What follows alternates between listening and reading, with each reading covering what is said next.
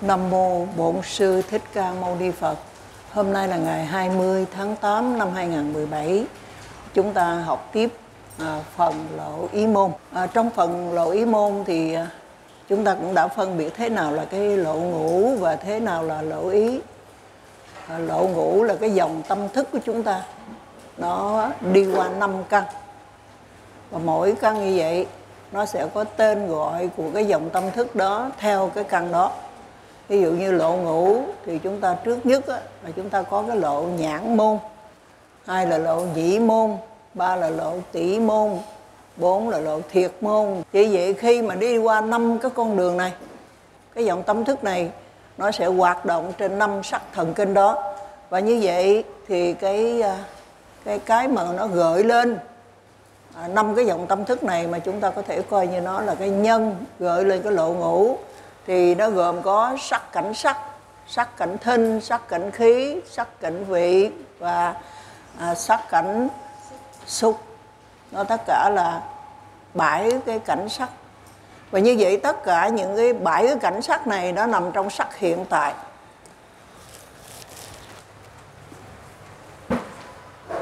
Như vậy đây là cái lầu hũ thì cái Ờ, cái mà kích thích để cho cái lỗ ngũ này nó khởi sanh lên á, thì chúng ta có tất cả là năm mà thành bảy, tức là trước nhất là sắc cảnh sắc.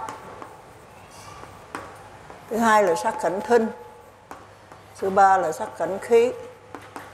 Cái thứ tư là sắc cảnh vị. Và cái thứ năm là sắc cảnh xúc. Sắc cảnh xúc thì gồm có ba. Trong cái tứ đại của nó đó, nó gồm có ba. Thứ nhất là địa đại. Cái thứ hai là quả đại. Và cái thứ ba là phong đại. Thì như vậy đây là năm cái nhân cũng là năm cái cảnh để mà cái lộ ngũ nó khởi sanh ra. Nhưng mà thực chất nó là bảy bởi vì cái xúc này nó có ba. Xúc này có ba đây. Như vậy chúng ta cộng 1, 2, 3, 4 với cộng với 3 nữa là cái lộ ngũ này nó có 7 cảnh tất cả là bảy thì tất cả những cái cảnh của lộ ngũ đều xảy ra trong hiện tại. Và nó là cảnh thật.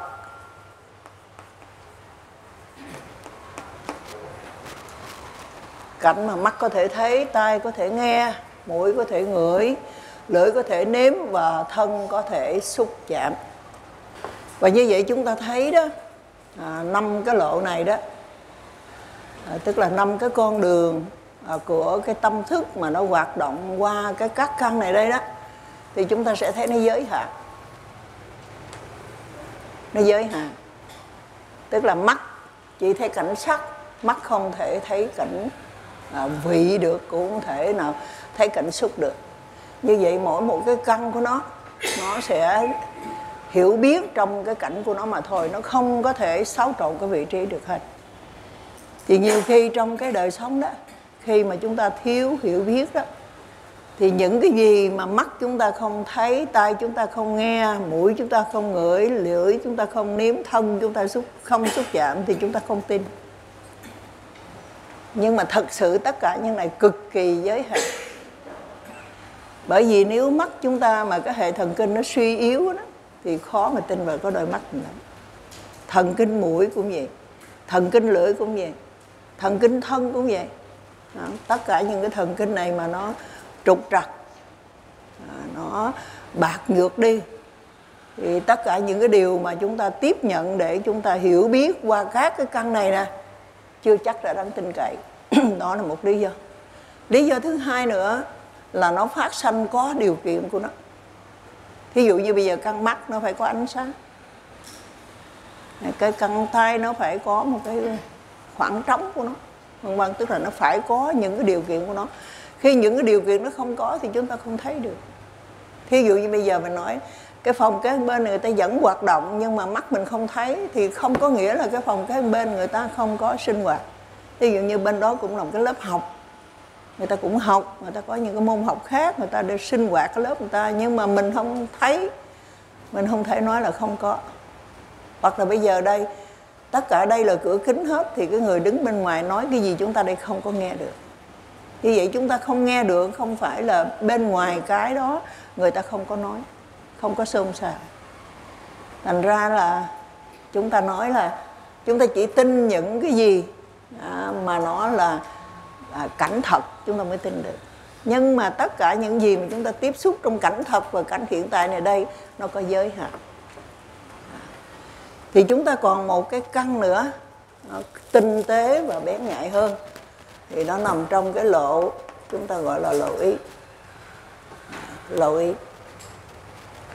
Thì cái lộ ý này đó thì như chúng ta đã biết rồi đó, tất cả những lộ ý này đó, thì cái ý môn của nó,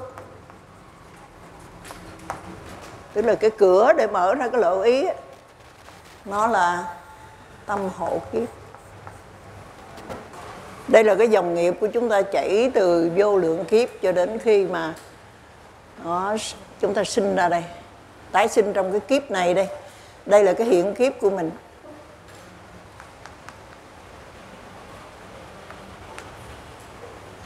Thì khi cái tâm tục sinh này nó vừa làm xong cái nhiệm vụ của nó, đây là tâm tục sinh, làm xong cái nhiệm vụ của nó thì nó sẽ làm cái chức năng là nó bảo vệ kiếp sống của mình cho nên đây nó gọi là cái tâm hộ kiếp. Khi chúng ta nhìn thấy cái tâm hộ kiếp này, nó có hai cái dòng chảy ở bên trong. Tức là cái dòng nghiệp chúng ta có một cái dòng nghiệp, phần trắng này nó gọi là thiện và thiện trí và cái dòng nghiệp mà chúng ta ghi cái phần tối đây thì nó chính là cái dòng nghiệp thuộc về tham, sân và si. Cả hai đều có hết. Như vậy khi mà cái lộ ý của chúng ta, nó khởi sanh lên để nó hoạt động, thì nó mở cánh cửa của hộ kiếp. Có nghĩa là nó mở cánh cửa của dòng nghiệp từ vô luyện kiếp. Nó đang âm thầm trôi chảy trong cái đời sống nội tâm của chúng ta. Như vậy, cái hộ kiếp này là một cái quá khứ mà nó có mặt trong suốt cái kiếp sống của chúng ta. Nó nằm trong cái tập khí thiện, tập khí bất thiện. Nó nằm trong cái tính tốt và nó nằm trong cái tính xấu của chúng ta. Đây chính là cái dòng hộ kiếp trôi chảy suốt trong cái kiếp sống hiện tại của chúng ta. Và nếu tới đây tử rồi thì bắt đầu một sát na sinh thì cái cách thức nó cũng đi như thế đó, không có khác hơn. Như vậy chúng ta sẽ thấy rằng cái lộ ý này nó mở ra, cái ý môn của nó nằm trong hậu kiếp và cái khả năng của lộ ý này đó, thì nó vượt trội lên cái lộ ngũ này. Tức là nó không phải duy nhất, chỉ bắt cái cảnh hiện tại. Mà nó còn có thể có khả năng bắt cái cảnh của quá khứ, có thể bắt cái cảnh của tương lai. Nó có thể bắt cảnh của sắc pháp và nó có thể bắt cảnh của tâm pháp. Và như vậy thì cái nhân mà kích thích để cái lộ ý khởi lên á, thì rất là đa dạng và chúng ta có thể à, tạm hiểu nó trong 14 cái nhân mà có thể à, làm cho khởi sanh cái lộ ý. Thì 14 cái nhân để làm khởi sanh cái lộ ý đây.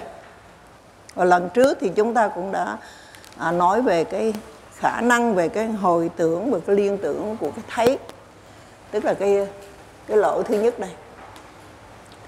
Thì như vậy là chúng ta sẽ nói thế này là tất cả những gì mà lộ ngũ đã trải qua trong bảy cảnh của nó thì giờ đây trong lộ ý nó sẽ trạo trở lại. Như vậy cái gì đã cái gì mà nó đang thấy rồi thì nó sẽ chấm dứt. Nhưng mà nó vẫn còn lưu giữ lại trong cái sở hữu tưởng, cho nên nó sẽ thấy lại. Tức là nó trạo lại cái cảnh cũ. Bởi vì nó đi qua rồi, nhưng nó in cái bóng của nó xuống. Người ta gọi đó là cái dư ảnh. Thì cái khả năng của cái lộ ý này nó có thể bắt lại bảy cái cảnh của cái lộ ngũ hay là năm cảnh của lộ ngũ đây, nó có khả năng tái ờ, gọi là gọi là tái diễn trở lại. Và dĩ nhiên là nó không có phải là có trong hiện tại, và nó không phải là cái cảnh thật, mà cái cảnh do chúng ta hồi tưởng lại, và cái cảnh cho chúng ta liên tưởng lại à, nó nó không phải là cảnh thật. Cho nên nó gọi là trạo lại các cái cảnh đó đó là cái khả năng của lộ ý như vậy nó thấy được những cái cảnh mà lộ ngũ đã bắt rồi. Và bây giờ nó sẽ thấy được những cái cảnh mà nó thuộc về cảnh sắc và thuộc về đó, những cái cảnh đó thuộc về sắc pháp và danh pháp. Thì chút nữa chúng ta sẽ học ở đó. Bây giờ chúng ta đang nói đến 14 cái nhân mà nó làm cho cái lộ ý khởi sanh lên thì chúng ta đang nói đến cái phần mà nó thuộc về cái lộ ngủ đó tức là nó thấy thì bây giờ nó thấy trở lại. À. hoặc là bây giờ đó là nó à, liên tưởng nó thấy cái này nó liên tưởng đến cái khác liên tưởng đến cái nó từng thấy hoặc những cái đã từng nghe. À. Và trong cái phần số 5 thì chúng ta đang nói đến cái sở hữu trí tuệ nơi tâm tư. Và cái phần số 6 chúng ta nói đến cái sở hữu hỷ. À, nó cũng khởi sanh lên được cái à, dòng của lỗ ý và nó sẽ có hai cái xảy ra. Thứ nhất là thiện hỷ và cái thứ hai là tham hỷ. Và cái số 7 là cái lỗ ý khởi lên do suy nghiệm tức là dựa vào kinh nghiệm đã có để mà mình mới nhận định mới phán đoán. Thì cái này nó thuộc về sở hữu tâm. Và do một người có cái chánh kiến à, về cái tín ngưỡng của mình à, mà có thể là à, khởi sanh lên những cái sự hiểu biết đúng đắn thì cái đó nó thuộc về sở hữu trí tuệ. Và phần số 9 là nó do nghiệp tác động tức là cái cảnh mà chúng ta bắt vào lúc cận tử thì tất cả những cái cảnh này nó cũng nằm trong sở hữu tưởng mà ra. Và tới cái phần số 10 thì chúng ta nói là do cái lực tác động à, của thôi miên hay là cái lực tác động của cái tha lực bên ngoài mà nó có thể chen vào. Nó làm cho khơi dậy cái lộ ý ở trong tâm của mình. Và lần trước chúng ta đang nói dở cái phần số 11 à, đó là à, chư thiên à, cũng như ác ma có thể tác động vào trong cái lộ ý của mình. Thì như chúng ta biết đó là chúng ta sống trong cái thế giới mà thuộc về cõi dục này đây đó thì chúng ta có sáu cảnh chư thiên. Một cảnh là người sáu cảnh chư thiên và bốn cái cõi khổ. Là nói trong cái cõi dục của mình. Thì vậy 11 cõi này có thể đi qua đi lại rất là dễ dàng không có gì khó khăn cả. Khi chúng ta không hiểu thì chúng ta nghĩ rằng đó à, đây là một cái điều mà giống như là mình nói là mê tín vậy đó.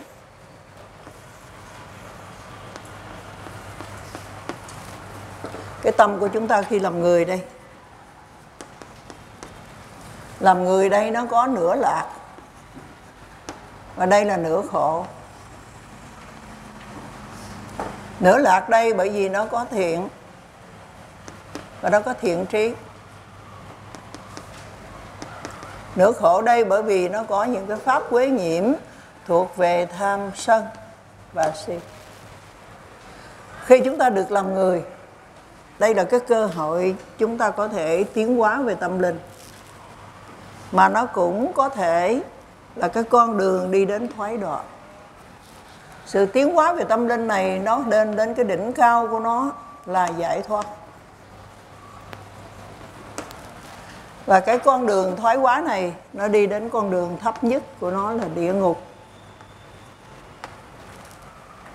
Và như vậy do pháp quế nhiễm này mà nơi bốn cái cảnh khỏi nào khổ này đó là súc sanh quỷ khổ atula và địa ngục.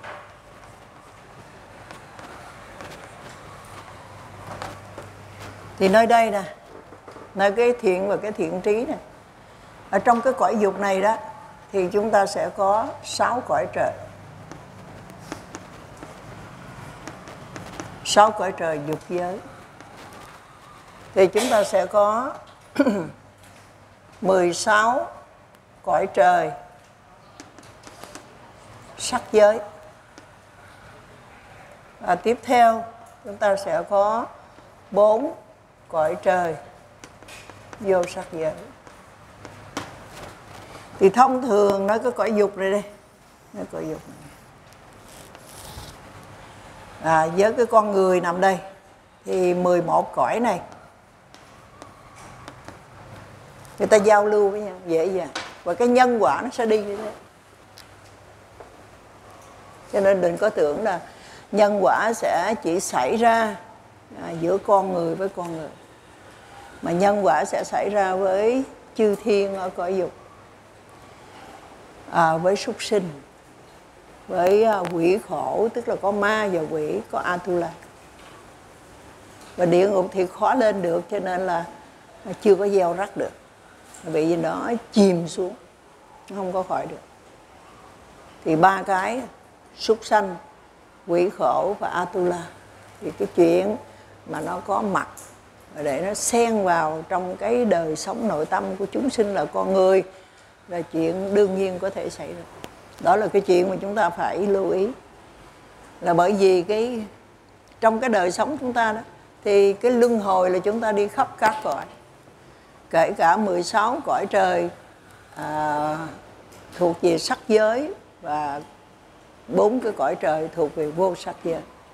Nếu mà cái duyên phước chúng ta có thì vẫn còn gặp lại nhau nhưng mà cái thông thường nhất mà nó xen vào lộ ý chúng ta là sáu cái cõi trời dục giới và như lần trước sư cô có giảng rồi đó, là có những cái à, chư thiên, người ta muốn à, tạo cái thiện nghiệp của người ta bằng cách là người ta mượn một cái xác. Xác đó của người nữ hay người nam à, để người ta chữa bệnh chẳng hạn, chữa bệnh cho người khác. Vậy cho nên người này có thể ra toa, và người này có thể biết trước cái bài thuốc hay là cái cây cỏ gì đó để có thể giúp cho những người này hết bệnh thì cái đó là người ta xen vào. Và còn nhiều thứ nữa không phải một thứ. À, nếu chúng ta tìm hiểu những cái à, tài liệu mà ngày nay người ta nghiên cứu về y học thì có những cái điều mà nhiễm màu người ta không có thể tưởng tượng được là năng lực của một người thầy thuốc à, đúng theo bài bản mình học có thể chữa khỏi. Và có những người ta sẽ trông thấy là khi mà lúc mình chữa bệnh cho người bệnh nhân đó thì người ta thấy uh, có xuất hiện. Những người ta đến đó. Và người ta thể dùng cái năng lượng lành người ta để tiếp tay với bác sĩ. Người ta giúp cho cái người này hồi sinh được. Thì cái chuyện đó là đối với chúng ta không có một cái gì đã ngạc nhiên cả. Rồi bởi vì người Việt Nam mình á trong cái đời sống hàng ngày đó rất là gần gũi với trời vui cũng kêu trời mà khổ cũng kêu trời. Và trời đó là ai? Trời đó là chư thiên ở cõi dục. Và chư thiên ở cõi dục thì có liên hệ gì mình để mà kêu? Thì xin thưa rằng chư thiên cõi dục mà gần gũi với mình ở trong nhà của mình chính là tổ tiên ông bà của mình. Những người có phước bao? Những người mà do làm phước rất là lớn với cái tâm quảng đại của mình thì người ta sẽ sanh ra chư thiên ở cõi dục. Những người giữ giới và hành giới được thì người ta cũng sanh ra chư thiên ở cõi dục. Và vì nó còn trong cái luân hồi, cho nên nó còn nắm níu trong cái tình thương. Cho nên là làm phước cho tất cả, không lẽ không làm phước cho cái dòng tộc của mình. Cho nên người ta có mặt trong cái đời sống à, trong cái à, đời sống của cái gia đình mình. Cho nên là người Việt Nam chúng ta có cái tục thờ cúng tổ tiên ông bà. Và điều này không phải là mê tín, mà điều này là chính xác. Đó là cái việc phải làm để cho có phước báo. Khi mà phong kiến xuất hiện trên đất nước ta mà đi lệch lạc, chứ không phải phong kiến là xấu hết đâu. Nhưng mà phong kiến lệch lạc đó, thì người ta mới nói rằng là chỉ có con trai mới thờ cúng ông bà tổ tiên, còn con gái thì không được đó là chuyện cực kỳ sai lầm. Chúng ta con trai con gái gì chúng ta cũng có cha mẹ. Và việc chúng ta báo hiếu thì đó là cái tình của chúng ta. Ai cũng có cái tình đó cả. Cho nên việc chúng ta thờ cúng ông bà à, chúng ta hiếu hạnh với cha mẹ chúng ta. Chúng ta biết báo ơn và đền an ơn cho cái người ân của chúng ta thì cái đó là cái hạnh lành, là cái phước báu, là cái việc thiện mà chúng ta phải làm. Chứ tại sao lại chỉ có con trai trưởng, còn tất cả những người khác không có cái quyền? Hoặc là có những cái chuyện đáng buồn cười là ở chỗ đó, vợ chồng chung sống với nhau thì người chồng chỉ cho phép là thờ phượng tổ tiên ông bà của mình thôi. Còn của vợ thì à, không có được phép. Ủa, sao có chuyện gì lạ vậy? rất là buồn cười nhưng người ta vẫn làm và coi như đó là một cái chân lý. Bây giờ không có cái người đàn bà này trong nhà ờ, thì là con này của ai? Và như vậy một gia đình đâu có nghĩa là một người độc thân này. Một cái gia đình có nghĩa là có chồng, có vợ, có con, có cái và có bên nội, bên ngoại thì đâu có cái lý do gì đó chỉ tồn tại ở bên nội mà bên ngoại không được tồn tại. Thành ra rất là buồn cười nhưng người ta đã hành xử như thế. Và ta vẫn coi đó là một cái chân lý. Nhưng mà đứng về mặt tâm linh, mình càng hất hủi bên ngoại nó bao nhiêu đó, thì những người đó người ta càng hộ trì bấy nhiêu. Vì ta thương nhiều hơn. Chúng ta nên nhớ rằng chư thiên ở cõi dục đó nó còn nặng cái tình cảm của cái tình người dữ đó thành ra ta sẽ đỡ đần, sẽ che chở. Và trong cái đời sống chúng ta hàng ngày này chúng ta nên nhớ rằng chúng ta cũng có những cái người mà gọi là ân nghĩa chúng ta đó, hộ trì cho chúng ta. Chứ không phải tự tưởng có một mình mình đâu. Người ta hộ trì bằng những cái năng lượng. Khi cần thiết, thì người ta có mặt ở nơi đó để người ta tăng cái sức cho mình tăng cái niềm tin cho mình lên cho mình vững chãi. Như chúng ta biết đó, trong nhiều đời nhiều kiếp đó, là chúng ta đã làm rất là nhiều cái điều thiện. Và những cái pháp thuộc về thiện trí tức là ba cái nhân vô tham vô sân và trí tuệ đó là chúng ta cũng đã coi như là có cái phước báo để mà tạo dựng cho mình rất là nhiều rồi. Chứ không phải không có bởi vì nếu như mà chúng ta đây không có cái đầy đủ cái phước thuộc về thiện và thiện trí đây, thì chúng ta đã không được làm được do đó mà chư thiên trong cõi dục đó, là như cũng nhờ phát triển cái thiện và thiện trí này đó, mới được tái sanh làm cõi chư thiên. Vì vậy đó, trong cái, trên cái đường luân hồi đó, là cái pháp thiện và thiện trí chúng ta khởi sanh lên đó là chúng ta đã gắn kết với những cái ừ, bậc mà người ta gọi là thiện lành. Và vì vậy cái ân nghĩa đó đối với nhau. Thì bây giờ khi chúng ta xuất hiện mà chúng ta có mặt trên cái đời này à, với cái sắc thân là một con người đây, thì những cái điều tốt đẹp mà chúng ta đã tạo ra vẫn còn đây. Và phước báo này vẫn được trổ xanh cho nên á, là khi nào mà chúng ta giữ được cái tâm mình trong sạch, cái tâm mình trong sáng, phước thiện trí của mình mở ra, thì chừng đó chúng ta sẽ tiếp cận được những năng lượng lành. Bởi vậy ta hưởng được cái phước báo. Và như vậy chư thiên hộ trì chúng ta là bởi vì nơi chúng ta đó, những cái pháp thiện và thiện trí đã được khai mở ra, thì chúng ta mới tiếp nhận được còn khi nào pháp thiện và thiện trí không có khai mở ra, thì có nghĩa là phóng vật đang có mặt trong tâm ta. Thì phóng vật này nó sẽ mở tất cả những cái cánh cửa mà do cái, những cái pháp bất thiện đây.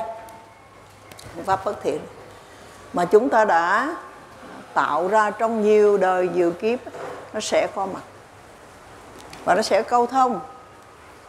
Đó là cái luật của nó, cái đường đi nước biết của nó cho nên là chúng ta thấy thế này.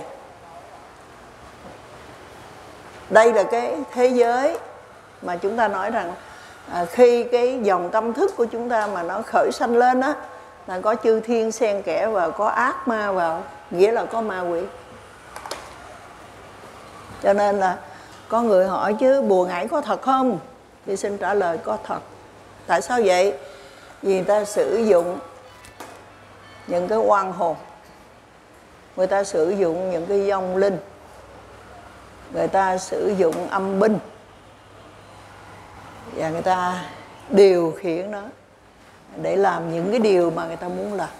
Người ta nó sẽ xen vào trong cái lộ ý hay là nói là, là xen vào cái dòng tâm thức chúng ta để nó khơi dậy. Và đó sẽ có hai trường hợp xảy ra. Một cái trường hợp đó là khi mà chư thiên hoặc là ác ma xen vào đó thì cái người này không biết gì hết. Và sau khi xong rồi cũng không nhớ lại nổi. Đó là một trường hợp. Trường hợp thứ hai đó là người này vẫn biết, mà vẫn không thể nào sử dụng cái thân của mình như ý mình muốn. Thí dụ giờ cái miệng mình nói, thì mình không có thể nói theo ý muốn mình được.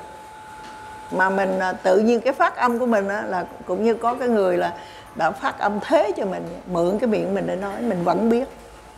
Cho nên nó có hai trường hợp mà một cái chữ vắn tắt gọi là ác ma xen vào một cái trường hợp gọi là chư thiên hộ trì. Thì chúng ta phải hiểu rằng một cái phần là phước một cái phần không phải là phước. Để nó có thể xen vào đó thành ra chúng ta sẽ thấy rằng à, có những người ta nói là bị ma nhập. Chuyện đó có hay không có. Chuyện này bị người ta chơi bùa thư yếm. À, tất cả mọi đó có không? Có thật và tất cả là gì? Tất cả là do cái cánh cửa này của chúng ta mở ra. Những cái những cái pháp bất thiện nơi tâm chúng ta mở ra thì nó sẽ kết cái duyên lại. Và cái này, tại sao bây giờ mình không có làm cái điều này mà bây giờ mình phải gặp phải? Tức là mình bị bùa ngải, thư yếm, vân vân. Tại sao đời này mình không có dính dáng gì hết mà tại sao mình bị? Vì tiền kiếp mình đã có dính rồi. Và hôm nay trong cái à, bài kinh hàng ma trong à, trung bộ kinh tập 1 đây chúng ta sẽ thấy cái bài kinh này. Nói rất là rõ. Đây là bài kinh hàng ma à, Maratacha Nija Sutta. Thì bài kinh này nói về ngài Mục Kiền Liên. Trong khi mà ngài đang đi kinh hành như vậy á, thì có một cái ác ma xâm nhập vào thì khi mà ác ma này xâm nhập vào đó thì ngài biết. Ngài mới nói là hãy đi ra. Nhưng mà nó không đi ra, nó quậy ở trong bụng đó. thì ngài nói phải đi ra. Ta đã biết ngươi là ai rồi. Thì cái con ác ma này nó mới nói rằng là như vậy là cái vị hành giả này đã biết ta rồi. Vậy ta sẽ ra nơi cửa miệng của vị này ta đứng. Thì cái người này ra nơi cửa miệng đứng thì ngài một kiền liên vẫn biết như thế nhưng mà nó cũng lì lắm, nó không có ra. Thì sau đó ngài một kiền liên mới nói nói thế này. Ác ma, ở đây ta cũng thấy ngươi. Ngươi chớ có nghĩ rằng vị ấy không thấy ta. Này ác ma, nay ngươi đang đứng dựa nơi miệng. Này ác ma thuở xưa ta là ác ma tên là du xí, chị ta tên là ca lý và ngươi là con trai của chị ta như vậy ngươi là cháu của ta. Dạ. Chưa ở đâu có tình cờ con ác ma này nó vô và sau đó thì là à, tiền kiếp một trong những cái tiền kiếp của ngài một kiền liên đó ngài mới kể lại khi là ngài là ác ma đu xí thì ngài đã làm gì? Tức là ác ma này nó sẽ gây dựng ra hai trường hợp.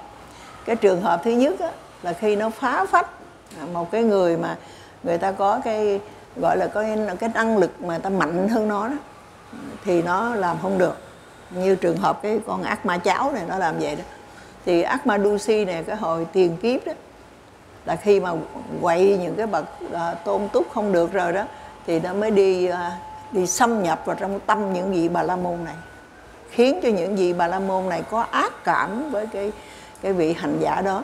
Và cái vị bà la môn này đó sẽ dùng những cái À, cách đối xử tồi tệ nhất để mà đối xử với một cái bậc tôn túc như thế thì nó tạo.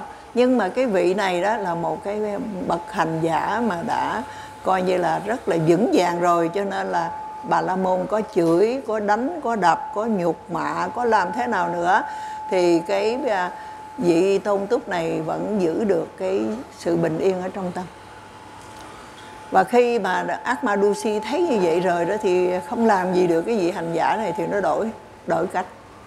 Cách thứ hai thì nó xâm nhập vào cái tâm những vị bà la môn khác.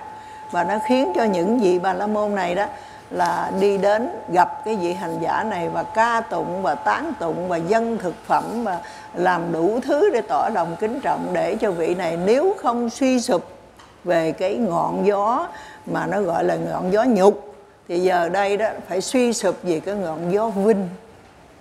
Vinh nhục ở đời thì nó đi cả hai cái ngọn gió đó.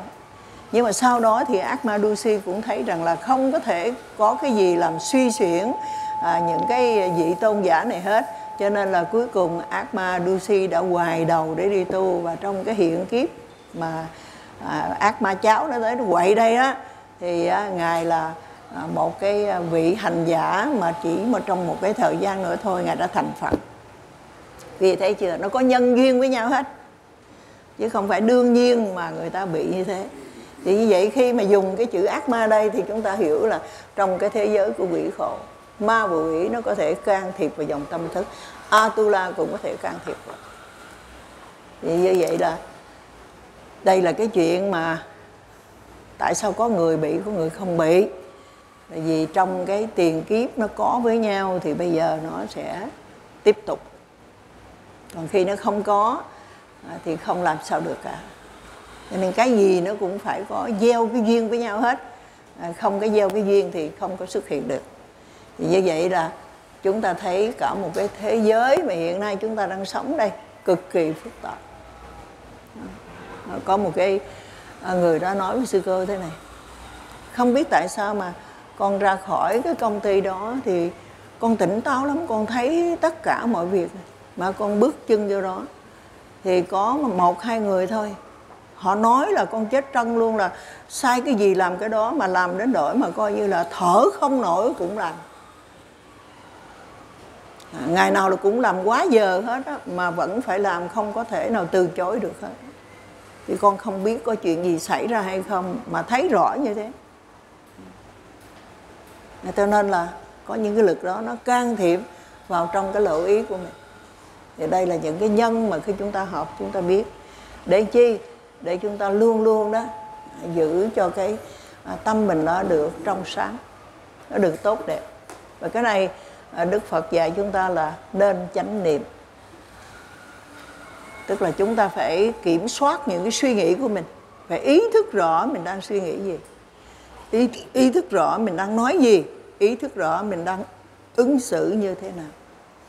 Và cái sự kiểm soát đó đó giúp cho chúng ta đó à, tránh khỏi à, những cái cảnh xấu mà cái hàng ác ma có thể chen vào trong cái đời sống tâm linh của chúng ta để sai sự mình. Và bây giờ là cái thời đại mà người ta sử dụng những thứ đó nhiều lắm ở đây thì mình không thấy nó lộ liễu. Khi mà sư cô đến một cái nơi khác, nước khác, không phải nước mình, thì quý vị thấy người ta lập luôn cái văn phòng. Văn phòng đó để người ta, khách hàng tới muốn sử dụng loại bùa gì, loại chú gì, loại gì, thì có cái văn phòng ta tiếp khách đàng hoàng. Đặt hàng đàng hoàng. Muốn làm ăn buôn bán khá, muốn tình duyên gia đạo muốn bất cứ điều gì thì bước vào cái văn phòng đó. Mà ta nói rõ luôn, bùa chú. Công khai luôn. Bên mình thì không có công khai vậy, người ta chỉ truyền tay nhau, người ta chỉ ở người đó người đó đó vậy thôi chứ không ai dám công khai. Nhưng mà kia người ta có văn phòng luôn, quảng cáo luôn, có tờ rơi luôn. Thì như vậy chúng ta hiểu rằng là cái thế giới mà nó nằm trong 11 cõi này, nó đi lại với nhau. Và chúng ta phải hiểu rằng khi mà sử dụng những cái âm binh như vậy thì cái hậu quả của nó không có lường được. Và đây là sư cô cũng có gặp một cái trường hợp, một cái gia đình đó đó là có cái đứa con sanh ra thì nó rất là tươi tốt, không có gì cả. Đi học giỏi ra và tánh tình cũng rất tốt. À, đến à, năm 14 tuổi thì nó bị cảm rồi nó sốt.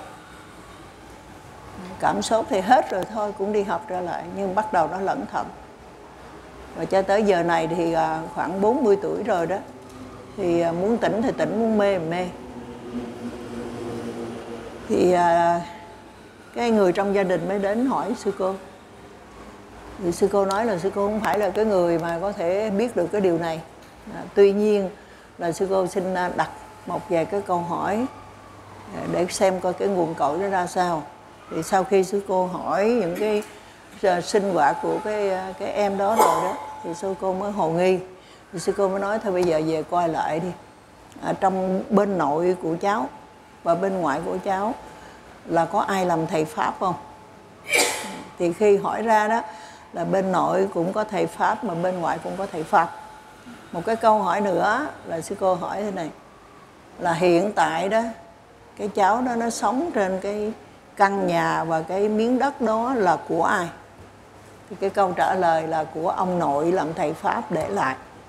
Thì câu nữa mà hỏi đó thì hỏi vậy chứ là trước khi mà ông nội mất đó, thì ông nội có giải nghệ chưa?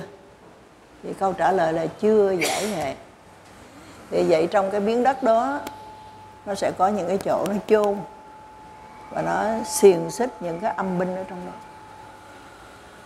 Và khi có những cái âm binh nào nó thoát ra được đó thì nó sẽ bám lấy những cái người trong gia tộc đó.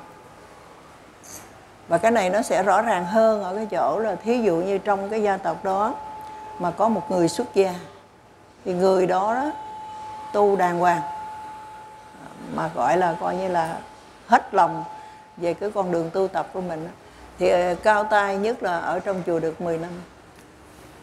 Còn không là sẽ bệnh hoài.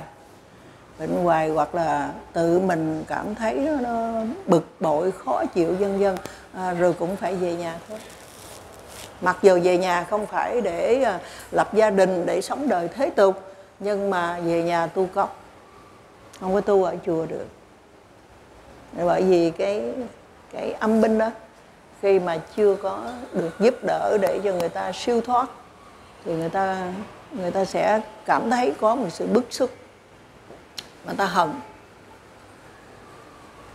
Cho nên là cái cách mà sư cô nói với tất cả quý vị rằng nếu như mà mình bị rơi vào trong cái trường hợp mà mình bị ai đó là dùng bùa ngải tất cả mọi thứ, thì đừng có bao giờ mà đi lấy cái bùa ngải đó ra rồi là để mà à, làm lại cái người khác không bao giờ cả. Mà chúng ta nên dùng cái pháp phật. Đó là chúng ta sám hối. Khi mình biết vậy thì mình sám hối. Và mình làm phước để cầu cho tất cả những cái dông linh mà nó đang thi hành cái án lệnh nơi mình đó là được siêu thoát. Và ngoài ra nó có những cái cách thức À, thuộc về vật chất để giúp cho mình có thể là à, khi nó đã trở thành một cái thân bệnh rồi đó thì mình có thể giải được bằng những cái bài à, rất là dân gian, không có cái gì khó khăn cả. Giải được. Và chúng ta đi con đường của giáo pháp. Để làm chi? Để giúp cho những cái hàng mà thuộc về ác ma đây. Chúng ta gọi chung là cái tên ác ma thôi. Thì để cho những người này nè, người ta được có cái chỗ mà người ta tu tập À, để người ta có cái điều kiện mà ta siêu thoát thì mình sẽ giải được. Chứ mình không có là coi như tạo nên cái chiến tranh qua lại. Mình chấp nhận. Và mình dùng cái cách của nhà chùa thì chúng ta luôn luôn sám hối. À, chúng ta nguyện làm cái điều lành và thật sự chúng ta làm điều lành để chúng ta hồi hướng phước cho những cái chư vị này. Về vật chất thì chúng ta có những cái cách mà chúng ta giúp cho cái cơ thể chúng ta đó là nó thoát khỏi cái cái cái à, những cái mà nó trở thành cái thực thể trong cái thân của mình. Tức là nó trở thành thân bệnh, thì chúng ta sẽ giải ra. Về cái chủ yếu là chúng ta phải đi con đường của Phật pháp, thì chúng ta đây mới giải hết tất cả những cái oan kết trong nhiều đời, nhiều kiếp do mình sử dụng những cái âm binh này, do sử dụng những cái hàng ác ma này đó để mà tạo những cái phương tiện mà gọi là thuận lợi cho mình cho nên là không thể nói là nói không có cái thế giới này. Bởi vì 11 cõi sao không có được. Đó thì như chúng ta thấy đây là cái bài kinh hàng ma. Cũng đã nói rất là rõ vậy. Quý vị coi bây giờ cái bài kinh này rất là dài. Vì sư cô tóm tắt cái ý của nó như vậy thôi. À, để mình biết rằng là ngay cả những vị tôn túc tu tập mà ác ma cũng có thể xen vào. Cho nên là sẵn đây thì nói thêm là khi mình ngồi thiền mà nó từ khoảng nửa tiếng trở lên đó thì mình phải có cái nghi thức hành thiền. Tức là phải có lễ phật phải có áo giới mặc đàng hoàng rồi phải có tụng kinh mình phải có uh, thọ giới à, rồi phải có uh, tụng kinh phải có rải tâm từ. Rồi sau khi mà mình xả thiền xong á, thì phải có hồi hướng đó là tu từ khoảng nửa tiếng trở lên còn trước đó ít ít thì không sao là phải làm cho nó đầy đủ như thế. Là bởi vì nếu không đó là cái chuyện mà à, một cái người mà hành thiền rồi người ta gọi là có cái có những cái dông nào nó bám vào thì cái chuyện đó là chuyện có thật. Nó cũng xảy ra trong các thiền viện chứ không phải không có. Cho nên là chúng ta vào đó là phải giữ giới nhất là à, giữ cái đề mục của mình. À, và luôn luôn là cái tâm niệm của mình đó, là đến đây để hành trì và để chia phước. Và bao giờ cũng vậy, cũng phải có cái bài kinh rải tâm từ trước khi chúng ta ngồi thiền. Là bởi vì khi mình ngồi đó thì có rất nhiều người ta đã đến tu tập ở đó. Hoặc người ta ở trong cái khu vực đó. Khi mình tới, mình chiếm thì có thể người ta không có hài lòng. Nhưng mà bài kinh rải tâm từ của mình để cho mình nói với tất cả mọi người rằng đó, mình đến đây, mình có mặt ở đây để mình đem cái điều lành, cái điều lợi ích đến, chứ không có quấy rối và cũng không làm cho náo loạn một cái à, đời sống ở nơi đó và xong rồi thì chúng ta phải hồi hướng. Chứ không phải là ai à, hành thiền mà cũng là à, đều gặp được mọi điều suôn sẻ đâu. Có những người nó không suôn sẻ. Và nó bị những cái trường hợp đó là do mình khởi sự, mình bắt đầu trong cái hành thiền của mình đó là mình khởi đầu bằng các cái pháp bất thiện đấy. Ví dụ như mình nói là à, vào trong cái À, thiền viện này đó mình là hạ thủ công phu để nhất định rằng là à, khi mà mình ra à, khỏi cái thiền viện này thì mình phải à, à, có cái trí tuệ thứ mấy thứ một thứ hai thứ ba thứ mười thứ mười bốn gì đó chẳng hạn vậy. Thì tất cả những cái khởi đầu đó tuy nhìn tốt đẹp nhưng nó là một cái tâm tham. Không phải là cái tư thế mà coi như là thiện lành. À, nó trong sáng, nó nhẹ nhàng à, của một người hành giả. Và chính vì cái chỗ mà chúng ta không có thấu suốt cái này thì à, những cái dòng khác nó có thể xâm nhập vào trong cái lỗ ý của mình. Chứ không phải không có đâu. Cho nên có những người đang hành thiền đó thì cười suốt luôn. Có những người khóc, có những người nhảy múa. Và thường những người đó là không có đi đúng trong cái đề mục của mình. Người nào mà có cái đề mục hành trì mà giữ đúng cái đề mục hành trì của mình thì không bị. Nhưng mà ra khỏi cái đề mục đó thì ờ, rất là dễ bị. Bây giờ chúng ta sang tới cái phần số 12 là cái phần này đó nó gọi là do bệnh. Thí dụ như một cái người đó bị uh, sốt cao hay là bị cảm lạnh hay bị sốt rét chẳng hạn thì như vậy là cái cơ thể nó bị rối loạn và cái à, tứ đại này nó không có điều hòa. Và khi học về pháp thiện và pháp bất thiện đó thì chúng ta hiểu rằng khi mà cái cơ thể chúng ta bị bệnh tật tứ đại chúng ta không có điều hòa có nghĩa là thân này đã rơi vào pháp bất thiện. À, bản thân của cái thân mà bệnh tật á là nó rơi vào pháp bất thiện. Và vì vậy đó từ cái pháp bất thiện này đó nó sẽ tạo nên cho cái tâm mình bất an cái tâm mình bị bức xúc đó. và như vậy có nghĩa là cái tâm sân nó đang khởi lên. Cho nên cái người bệnh mà nhất là bệnh lâu đó, thì tánh tình hay bực bội hay khó chịu, thì chúng ta phải hiểu là do thân bệnh mà tâm của người này cũng bệnh luôn. Như vậy khi mà cái cơ thể chúng ta trục trặc, bất an, thì nó cũng sẽ làm cho cái lộ ý mà nó thuộc về cái pháp bất thiện khởi sanh lên trong tâm. Cho nên thường người ta bệnh thì người ta thọ ưu và từ cái thọ khổ đi tới cái thọ ưu. Và nó làm nên đó thân bệnh làm nên tâm bệnh. Thì cái đó là cái nguyên nhân do bệnh tật mà khởi sanh lên cái lộ ý. Bây giờ cái lộ ý nó cũng có à, khởi sanh do cái à, sở hữu trí tuệ tức là do cái chánh kiến. Khi một cái người mà à, có cái sự hiểu biết thấu đáo về tứ đế tức là hiểu biết về nhân quả. Trong cái tứ đế này chúng ta sẽ có khổ đế,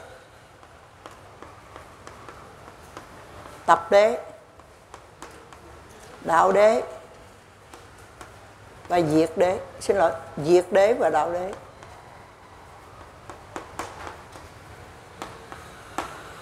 Hai cái này đi, hai cặp với nhau. Khổ đế là quả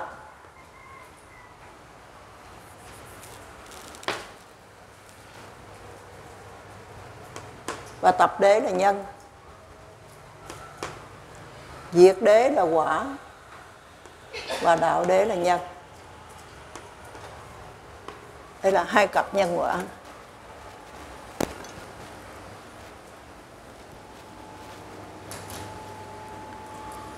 và cái sự hiểu biết về à, tứ đế này, về nhân quả này, nó diễn ra dưới ba cấp độ.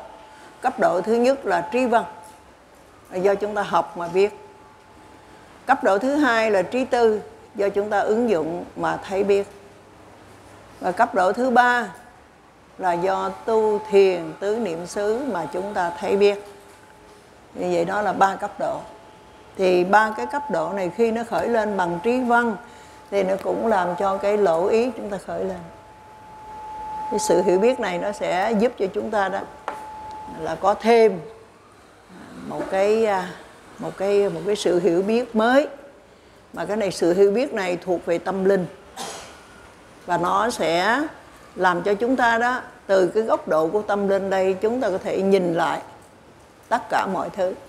Và lại nhiều lần sư cô nói thế này, là khi mình thấy trong tâm mình bức xúc, mình khổ, mình cảm thấy bất an, mình khó chịu, mình tức giận mình ờ, buồn bã, mình chán nản, mình tuyệt vọng, mình hận thù, vân vân. Những cái trạng thái nó khởi lên là mình thấy hết. Nhưng mà mình không giải được. Nhưng nếu mình có cái trí văn, tức là mình hiểu về tứ đế, thì mình biết rằng là nguyên nhân nào mà làm cho cái tâm của mình nó rơi vào trong một cái tình cảnh khó chịu đựng như vậy? Một cái tình cảnh gọi là khổ đây khó chịu đựng được đây. Bất mãn đây. Thì nguyên nhân này nó do tập đế. Tập đế này đó, chính là tám cái tâm tham. Tức là mình muốn cái gì vậy? Mình dính mắc vào cái gì vậy? Thì cái câu hỏi để mình có thể giải cho mình cho ra cái trạng thái mà nó bị trói buộc như vậy đó, mình sẽ hỏi là mình muốn gì vậy? Mình đòi hỏi cái gì vậy? Mình mong đợi cái gì vậy? Mình không hài lòng cái gì vậy? Mình chờ cái gì? Thì tất cả những câu hỏi đó hỏi, thì tự mình sẽ trả lời được, thì mình thoát. Cái đó là cái mà chúng ta sẽ ứng dụng. Và khi chúng ta hành trì, thì những cái trạng thái tâm mà thuộc về tâm sân khởi lên chúng ta sẽ thấy rồi. Và chúng ta không phải thấy một lần mà thấy tỷ tỷ tỷ tỷ tỷ tỷ lần bởi vì như chúng ta biết là cái tâm chúng ta là một giây đồng hồ mà nó nổi sân lên á, thì một giây đồng hồ tới tới hai trăm năm chục ngàn tỷ nó lặp đi lặp lại như thế. Thì khi chúng ta nhìn thấy nó thì chúng ta sẽ hiểu rằng là chỉ một giây đồng hồ thôi thì cái số lượng của nó kinh khủng lắm. Đó nên là không thể nào chúng ta không thấy, không thể nào không biết, trừ khi mình không muốn thấy, không muốn biết và khi mình thấy biết như vậy rồi đó, thì mình có thể thoát ra được những cái trạng thái mà thuộc về khổ.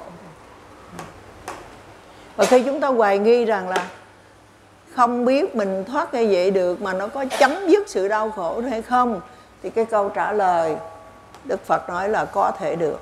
Bởi vì tâm chúng ta có thể bắt cảnh niết bàn là cái cảnh mà hoàn toàn trong sạch không còn quấy nhiễm nữa, có được. Câu trả lời là có được và cái câu thứ hai đó, làm thế nào để có thể bắt được cảnh niết bàn? Làm thế nào để chúng ta chấm dứt hoàn toàn sự đau khổ đây? Thì cái câu trả lời của nó là nó nằm trong đạo đế. Đạo đế đây tức là bát chánh bát chánh đạo.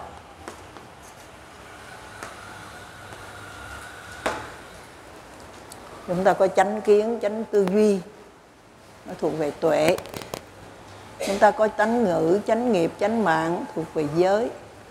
Và định à, chúng ta có chánh niệm chánh tinh tấn và chánh định. Ba cái đó thuộc về định tức là giới định tuệ. Là con đường chúng ta phải hành trì để chấm dứt sự đau khổ.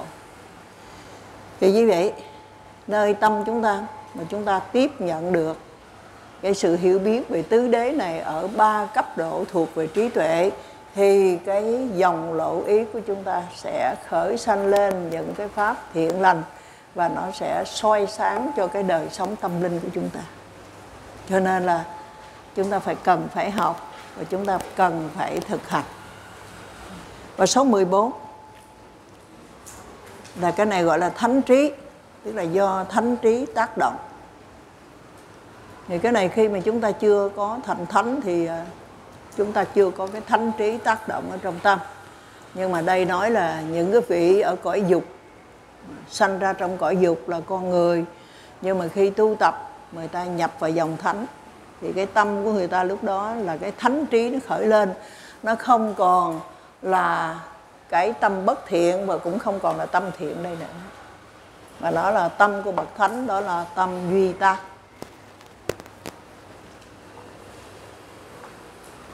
Vì vậy người ở trong cõi dục mà trở thành bậc thánh thì có thánh trí. Chúng ta nhìn lên cái bản chi pháp này thì à, chúng ta nói một lần thì chúng ta sẽ nắm được.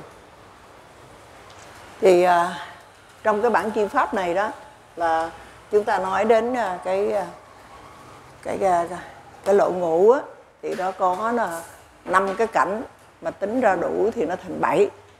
Thì năm cái cảnh đó chúng ta nhìn thấy đây là sắc pháp đây thì cái đầu tiên đó là nó là cái phần thứ hai của nó là nó có bốn cái cảnh đây nó gọi là hành cảnh đó, hay là bốn cái sắc cảnh giới tức là sắc cảnh sắc sắc cảnh thinh sắc cảnh khí sắc cảnh vị và sắc cảnh xúc thì không có nói nhưng mà ở đây là chúng ta nói sắc cảnh sắc sắc cảnh thinh cách cảnh khí cách cảnh vị ở chỗ đó không có nói sắc cảnh xúc nhiều người khi mà học rồi vẽ lại đó, thì vẽ nói là người ta thiếu.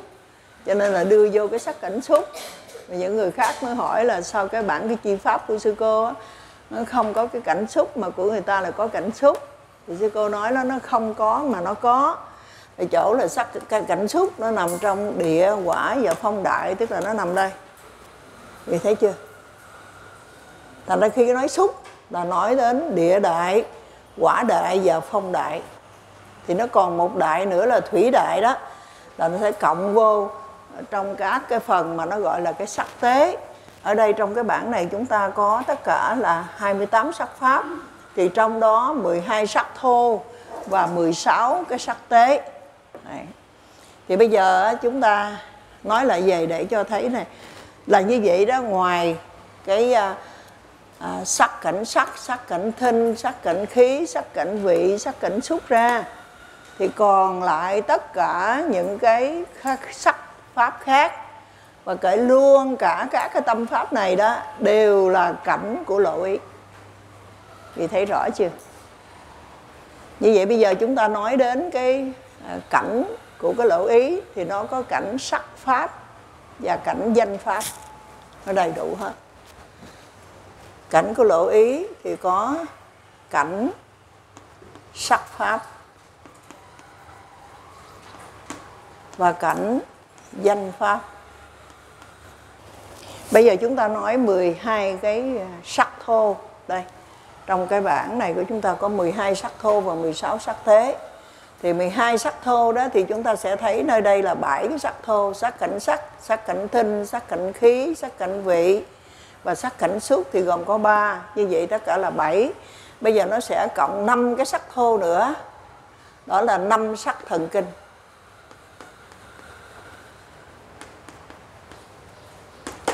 Năm sắc thần kinh nằm ở đây. Sắc thần kinh mắt, sắc thần kinh tai, sắc thần kinh mũi, sắc thần kinh lưỡi và sắc thần kinh thân. Đó là năm sắc thần kinh. Như vậy ở đây cộng lại đó là coi như cái sắc thô của nó là thuộc về 12 thì chúng ta thấy là bảy sắc thô mà chúng ta kể ra rồi đó, thì bảy sắc thô đó là cảnh của lộ ngũ còn lại năm sắc thần kinh này à, nó sẽ là cảnh của lậu ý. Đây năm sắc thần kinh.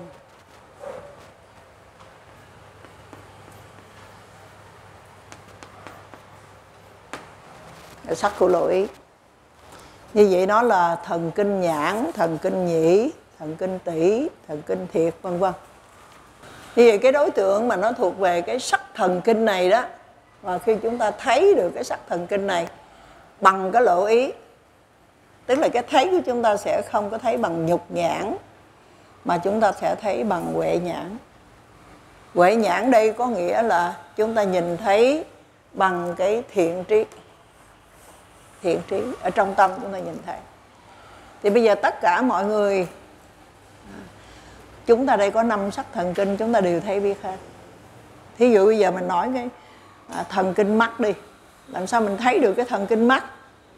Thì khi mà con mắt của mình nó mờ hay là nó rõ là mình biết. Phải chưa không? Cũng thời nhìn cái à, vật thể dù đó bây giờ mình nhìn trên bảng những cái những cái hình ảnh ở trên bảng đây.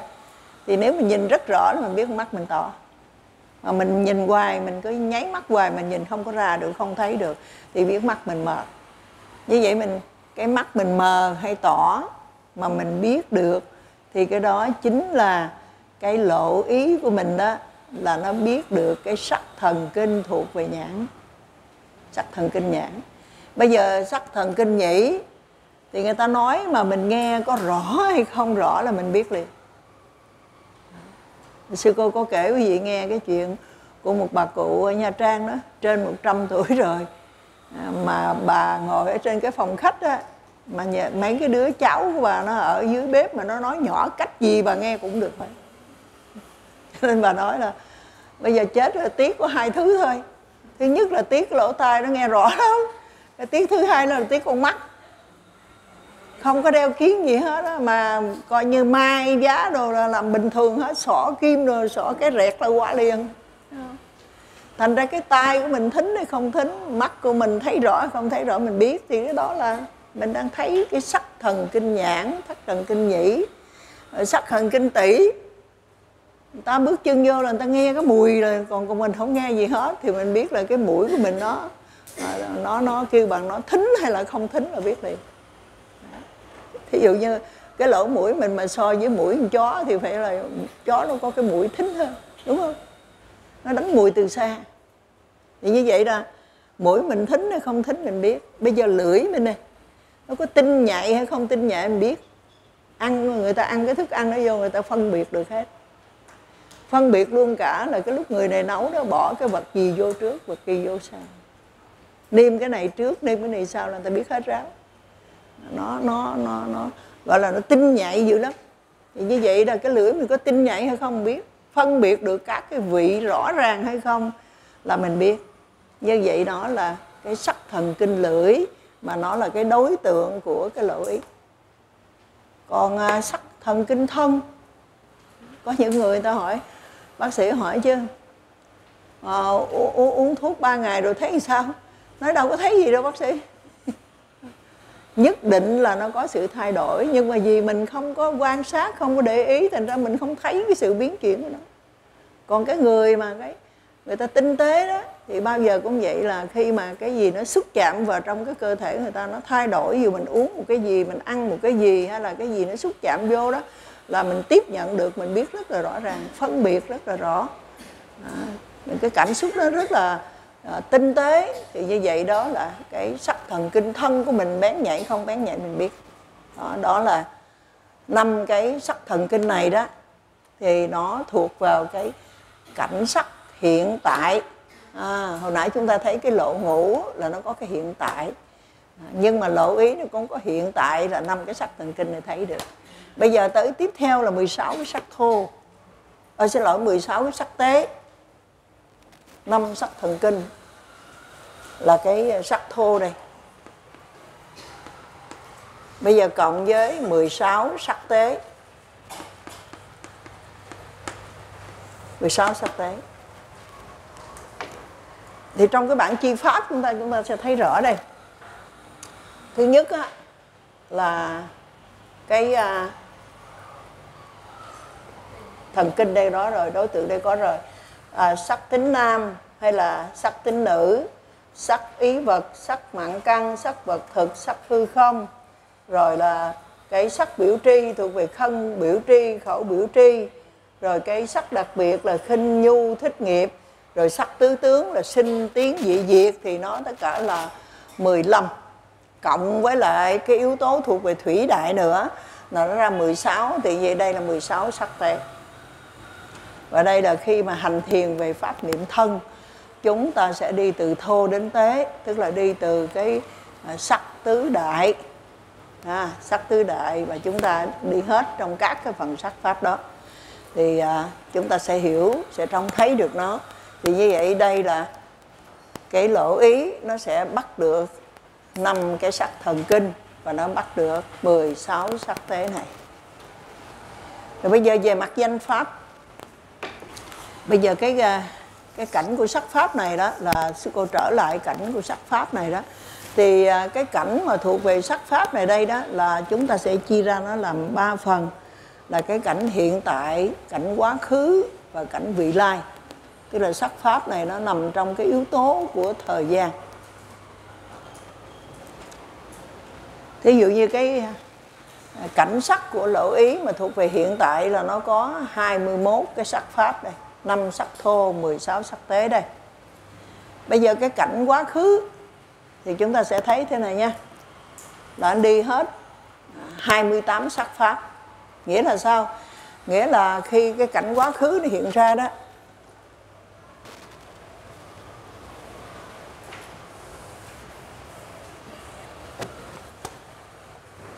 hồi nãy đây là trong cái cảnh sắc pháp này đó là nó thuộc về hiện tại.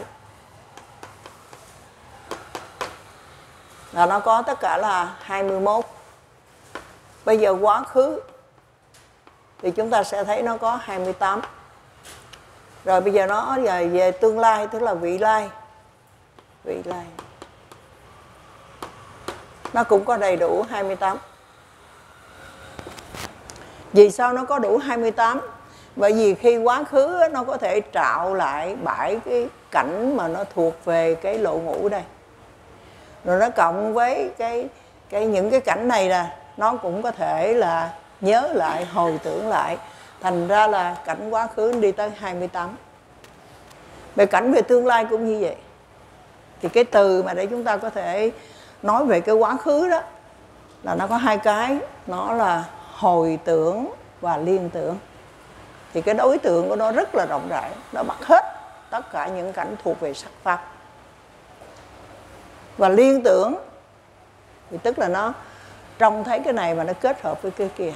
Hoặc nó trông thấy cái hiện tại mà nó kết hợp với quá khứ. Có thể trông thấy hiện tại mà kết hợp với tương lai, với vị lai, thì hai cái đó nó đều như vậy hết. Còn cái vị lai này đó, thì nó nằm trong cái chữ tưởng tượng. Tưởng tượng. Tưởng tượng mà có hoặc là người đó do ảo tưởng. Người đó do hoang tưởng. Người đó do loạn tưởng.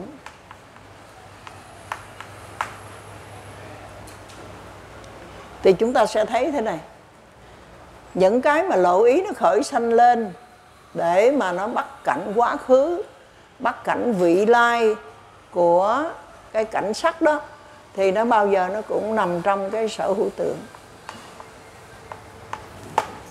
Tất cả những cảnh này đều nằm trong tưởng cả. Thì như chúng ta biết là tưởng thì bao giờ cũng có tưởng đúng, có tưởng sai và tưởng điên đảo. Khi nào cái tưởng chúng ta mà nó là tưởng đúng thì nó chính là pháp thiện mà khi nó tưởng sai và tưởng điên đảo thì bao giờ nó cũng nằm trong pháp bất thiện cả. Thì như vậy chúng ta thấy gì? Chúng ta thấy ngay cái cảnh thuộc về văn pháp á. À, xin lỗi thuộc về sắc pháp á, cảnh thuộc về sắc pháp đây. Thì cái sử dụng của lộ ý vẫn là sử dụng danh pháp là tượng. Danh pháp là tượng. Và ngay cái cái cái quá khứ và cái vị lai nè tất cả đều là tưởng cả nó cũng là sử dụng cái danh pháp để mà nó có thể nhìn thấy được những cái sắc pháp đó. Như vậy thì cái lộ ý này, nó có cảnh hiện tại, có cảnh quá khứ và có cảnh vị lai. Trong khi lộ ngũ chỉ có cảnh hiện tại và cảnh thật mà thôi. Đó. còn cái cảnh mà của lộ ý thì cảnh thật thì nó chỉ có 21 cái sắc thô này còn ngoài ra thì nó là cảnh quá khứ và cảnh vị lai. Đó là cái chúng ta thấy. Bây giờ cái thứ hai nữa là cảnh thuộc về danh pháp. Cảnh thuộc về danh pháp. Nãy chúng ta nói cảnh thuộc về sắc pháp bây giờ chúng ta nói cảnh thuộc về danh pháp. Cảnh thuộc về danh pháp á thì chúng ta có, có cái cảnh của pháp thiện.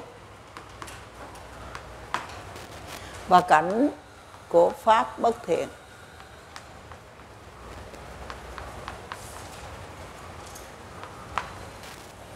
Thứ nhất, chúng ta nói cái cảnh lộ ý mà thuộc về pháp thiện đó, thì nó có hai phần. Thứ nhất là cái cảnh đó, đối tượng của nó là tâm và sở hữu tịnh hảo, tức là 25 sở hữu tịnh hảo là tất cả các cái tâm tâm thiện và thiện trí. Tâm thiện và thiện trí cộng với lại 21 sở hữu tịnh hảo. Thì đó là các cái tâm thiện. Bây giờ khi mà nói đến các cái tâm thiện thiện trí kết hợp với sở hữu tịnh hảo đó, mà cái đỉnh cao của cái pháp thiền đó là chúng ta nói đến 37 phẩm trợ đạo.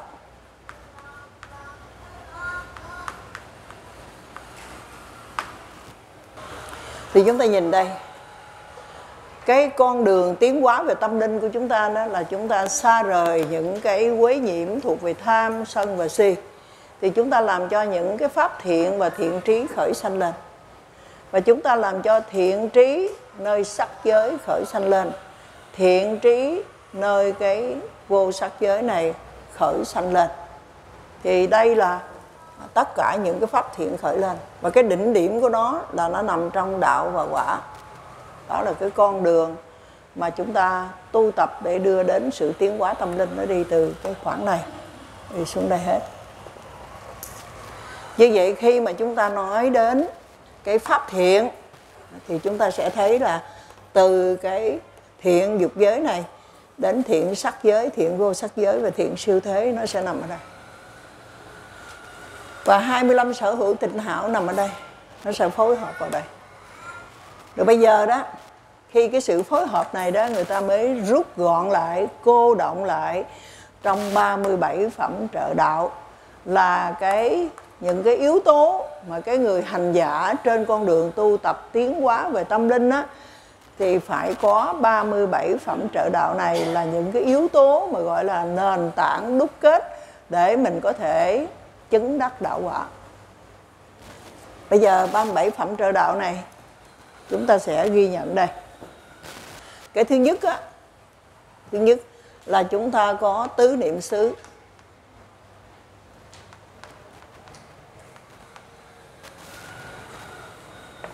Tứ niệm xứ tức là cái phương pháp chúng ta hành trì để cho cái trí tu chúng ta được phát sanh lên.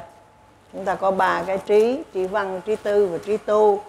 Thì thiền tứ niệm xứ này chúng ta hành trì mỗi ngày để cho trí tu được khởi sanh lên. Và tứ niệm xứ này gồm có thân, thọ, tâm, pháp. Như vậy hàng ngày chúng ta có các cái đề mục này. Và chúng ta nhớ thế này. Là thân thọ tâm pháp là nó đi cùng với nhau.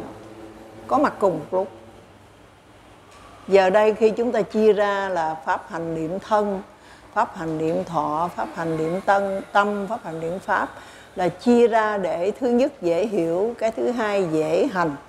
Nhưng mà người hành giả đích thực là bao giờ cũng thấy tất cả cho nên cái phương tiện mà mình đi cái pháp niệm thân để cuối cùng rồi thì cũng phải thấy cả bốn.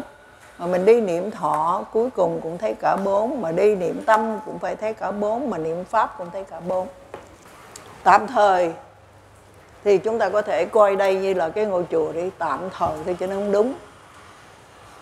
Thì như vậy cái ngôi chùa này nó ở đây thì cái người ở hướng đông, người ở hướng tây. Người ở hướng nam. Người ở hướng bắc. Đi hướng nào cũng tới chùa cả. Đây là niệm thân. Đây là niệm thọ. Đây là niệm tâm. Đây là niệm pháp. Không có cái nào tốt hơn cái nào cả. Cái nào mà nó phù hợp với mình thì cái đó là tốt nhất cho mình chứ không phải rằng cái gì của mình tốt nhất là của người khác đứng hàng thứ nhì. Không phải vậy. Tại sao vậy? Tại vì khi mà cái người hành giả đi bằng pháp niệm thân, niệm thọ, niệm tâm hay niệm pháp để cuối cùng đó, thì họ đều phải nhìn thấy cái điểm chung đó là cái chỗ này chính là vô thường. Đây chính là khổ và đây là vô ngã đó là ba cái đặc tính của pháp hữu vi. Chứ chưa chưa đâu. Niệm thân, niệm thọ, niệm tâm, niệm pháp đó chưa có phải là đắc đạo quả đâu. Mà nó phải đi về cái đề mục của nó là vô thường, khổ và vô ngã. Thì cái người hành giả sẽ chọn một trong ba cái đề mục này. Tùy theo. Tùy theo cái sự thích hợp với mình, tùy theo nghiệp của mình mà nó sẽ thích hợp. Thì khi mình chọn cái đề mục hoặc là vô thường, khổ và vô ngã đây.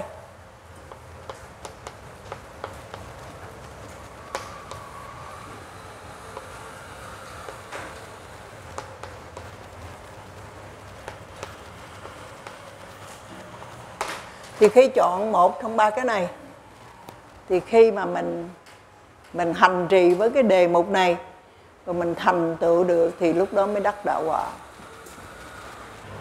chứ không phải chỉ có niệm thân mới thành tựu, không phải chỉ niệm tâm mới thành tựu, không phải chỉ niệm pháp mới thành tựu, không phải niệm thọ mới thành tựu, không phải như vậy. Nó là cái phương tiện để cuối cùng nó phải nhận ra vô thường khổ và vô ngã. Bây giờ một người niệm thân, bởi vì hơi thở nó thuộc về phong đại, tức là là thân, đúng không? Nói chữ thân này chúng ta cứ nghĩ là thân thể, nhưng mình nói về cái sắc pháp đó thì à, phong đại nó thuộc về sắc pháp, thì nó thuộc về niệm thân, nói một cái thôi. Thì khi mình thấy hơi thở ra vô, thì cũng thấy được vô thường.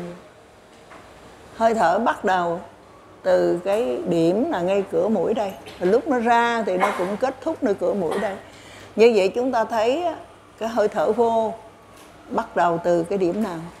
Hơi thở ra, kết thúc từ cái điểm nào thì chỗ đó vừa sinh, chỗ đó vừa tử, thì chúng ta thấy nó thay đổi là vô thường. Nó có sinh diệt, nó có thay đổi. Thì như vậy niệm thân cũng thấy vô thường. Bây giờ khi chúng ta niệm thọ, nó chúng đi từ cm ở dưới bàn chân lên tới đỉnh đầu, hoặc là từ đỉnh đầu đi xuống dưới bàn chân chẳng hạn. Thì chúng ta thấy những cái cảm thọ nó khởi lên khác nhau nhưng mà nó khởi lên rồi nó vẫn diệt nó thay đổi luôn luôn. Thì vô thường chúng ta cũng có thấy à, bằng cái phương pháp niệm thọ đúng vậy không? Rồi bây giờ về niệm tâm thì tâm chúng ta đó là những cái pháp thiện và pháp bất thiện nó đang xen nhau. Mới vui đó là buồn mới thấy là triều mến đó rồi là bực bội. Thì như vậy là cái tâm chúng ta cũng thay đổi luôn. Nó cũng sinh diệt luôn. Thì chúng ta đây cũng thấy vô thường. Bây giờ niệm pháp thì để rồi chúng ta sẽ học đầy đủ các cái phần niệm pháp đây. Thì nó là pháp thiện và pháp bất thiện.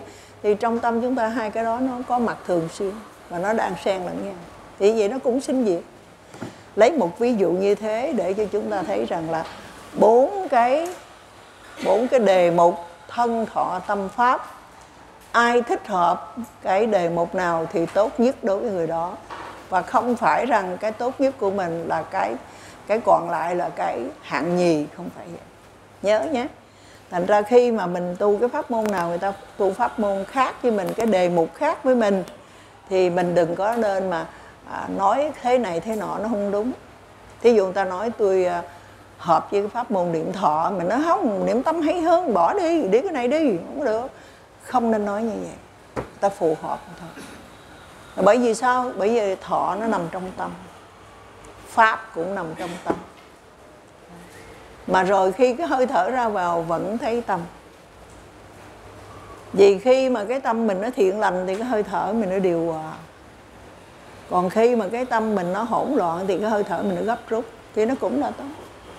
Như thế thành ra chúng ta đó là ai phù hợp cái gì thì tu cái đó không tranh cãi cái vấn đề là chúng ta học hiểu cho sâu và chúng ta nghe theo cái sự hướng dẫn của cái người ta uh, hướng dẫn cho mình hành thiền. Uh, thì mình nên hỏi những cái gì tốt đẹp cho cái chuyện hành trì của mình mà thôi. Còn về mặt kiến thức thì chúng ta phải hiểu rất rõ rằng đề mục nào cũng có cái giá trị như nhau bởi vì cuối cùng nó phải gặp nhau ở cái chỗ vô thường khổ và vô ngã. Rồi từ đấy đó tất cả những người hành giả cũng phải lấy cái đề mục hoặc là vô thường, hoặc là khổ, hoặc là vô ngã để mình hành trì cho đến khi mình đắc đạo quả. Thì cái phương pháp nó có. Như vậy trong cái lộ ý chúng ta cái à, cái 37 phẩm trợ đạo này có tứ niệm xứ, tức là hàng ngày tâm chúng ta có thể bắt được cảnh thân, thọ, tâm, pháp. Gì thấy không? Và nơi đây động tóc này thiện trí sẽ khởi sanh lên. Lộ ý hoạt động được mà, đúng không? Với tứ niệm xứ. Và cái thứ à, hai nữa à, trong cái trong cái phần mà 37 phẩm trợ đạo đây đó thì chúng ta có tứ chánh cần.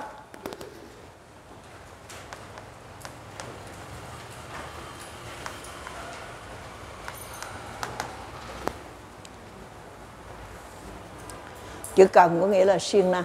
Cái này là sư cô đã giảng rất là nhiều trong cái bài sở hữu cần rồi. Nay mình chỉ nói vắn tắt lại trong cái tứ chánh cần này thôi thì đây không phải là siêng năng trong đời thường. Mà chúng ta siêng năng đó à, đối với cái cái cái cái cái dòng nghiệp ở trong tâm của chúng ta.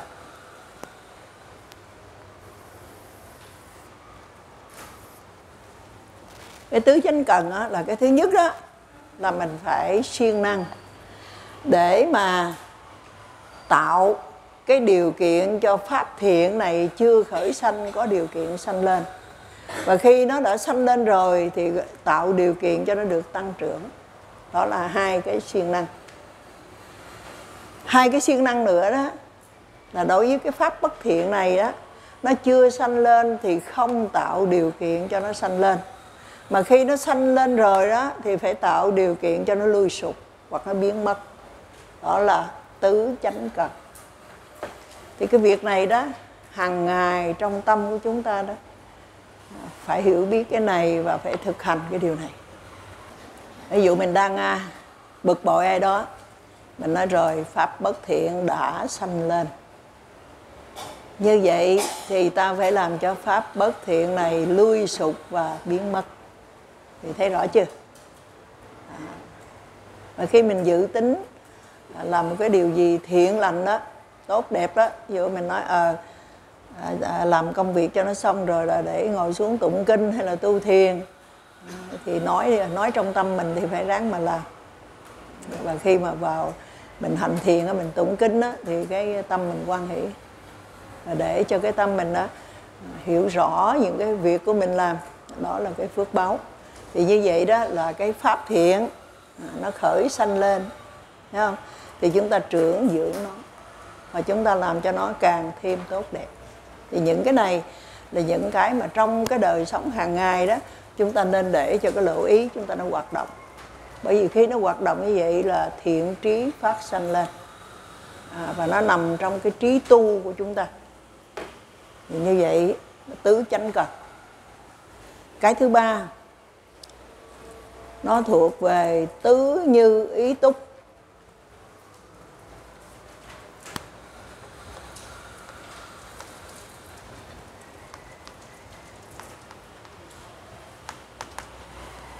Tứ như ý túc đây á, tức là cái con đường con đường của sự thành tựu pháp. Nó có bốn cái, dục như ý túc, cần như ý túc, tâm như ý túc và thẩm như ý túc. Dục như ý túc, cần như ý túc, tâm như ý túc và thẩm như ý túc bốn cái này nói rút gọn lại như thế này. Là những cái gì mà chúng ta mong muốn đây? Thẩm là chanh đã đây, những gì mình mong muốn đây. Thì những cái điều mong muốn này, nó đều đi vào trong cái con đường mà nó dẫn dắt chúng ta đến sự thiện lành. Con đường sáng. Con đường mà đưa đến cái sự thành tựu của pháp. Gọi là dục như ý túc chứ còn không á hàng ngày chúng ta muốn hưởng dục lạc. Chứ chúng ta không phải là muốn con đường đi tới đạo quả. Bởi vì cái dục lạc nó mạnh lắm nó lôi kéo cho chúng ta đó là hưởng thụ những cái dục lạc của thế gian. Mà chúng ta à, quên đi cái con đường tiến hóa về tâm linh và giải thoát của chúng ta. À, khi chúng ta đã biết được cái con đường đi đến giải thoát thì chúng ta đây ngày đêm phải có sự chuyên cần, phải có sự đều đẳng để mà hành trì. Cần như ý túc. Và tâm như ý túc là tâm của chúng ta đó. Biết được rằng cái việc mà chúng ta hành trì, chúng ta tu tập để đưa đến giải thoát, nó là cái sự tốt đẹp nhất trong cái đời sống của chúng ta. Và tâm chúng ta an vui với những cái đó.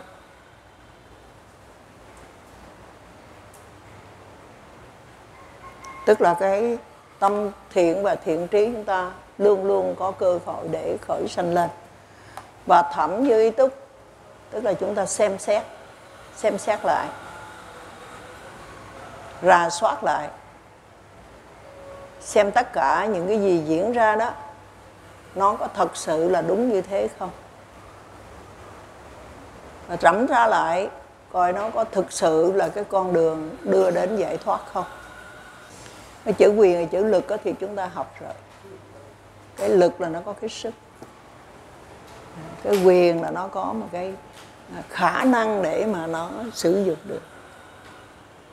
Có người có quyền mà không có lực, có người có lực mà không có quyền. Ví dụ mình mình có quyền là mình có quyền mình ra lệnh, nhưng mà cái lệnh đó nó có đủ cái điều kiện để nó thực thi hay không, thì cái đó nó gọi là lực còn có người có lực mà không có cái quyền bởi vì có khả năng làm được nhưng mà không được phép làm. Thành ra nó, trong cái tâm mình á à, khi nó khởi lên năm cái điều, nó gọi là tính tấn niệm định huệ. Ngũ quyền là tính tấn niệm định huệ cái này thì chúng ta nói vắn tắt thôi chứ không có nói đầy đủ được. Năm cái yếu tố này. Thì có nghĩa là cái đức tin của chúng ta đủ mạnh không và nó có đủ cái khả năng à, để mà nó dẫn dắt chúng ta làm cái điều tốt đẹp không đó là cái tính. Tấn đây là siêng năng tấn là siêng năng. Niệm đây là chánh niệm đây. Và định đây là sở hữu nhất hành. Mà đạt đến cái đỉnh cao của nó, và huệ đây là sở hữu trí huệ. Thì nó có ngũ quyền và ngũ lực, thì ngũ lực cũng là tính tấn niệm định huệ thôi. Ngũ lực. Và bây giờ còn hai cái phần đặc biệt nữa là thất giác chi và bát chánh đạo. Thất giác chi.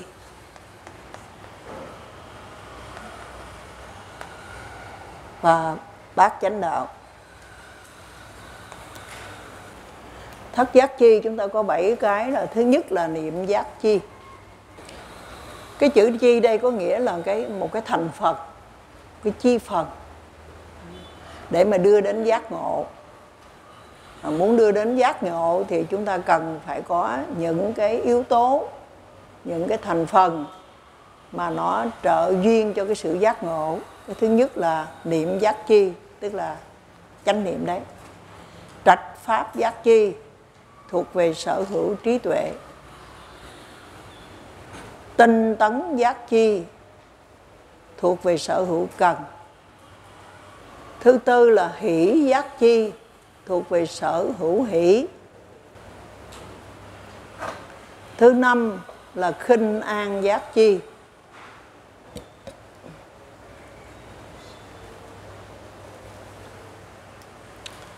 Cái khinh an này nó có hai phần đó. Cái khinh khinh an này nó nằm trong đó là cái à, 25 sở hữu tịnh hảo, nó nằm ở chỗ đây là khinh thân, khinh tâm. Nó được sự nhẹ nhàng.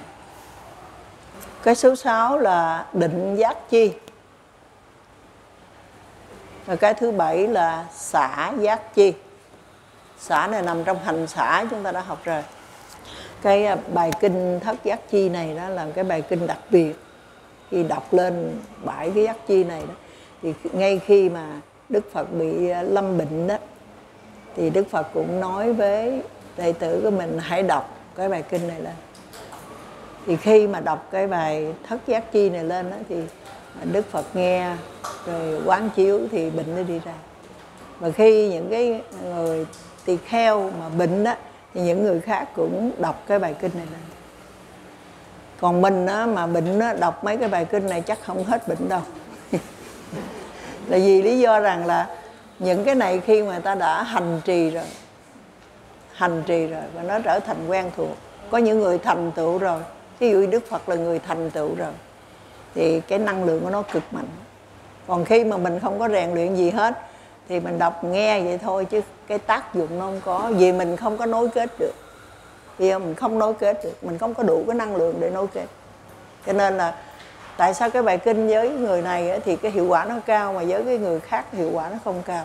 Là bởi vì người ta có đủ một cái năng lượng để người ta có thể câu thông. Còn mình thì khi mà không có hành trì được thì cái năng lượng của mình nó thấp. Thì cái này nó không câu thông được.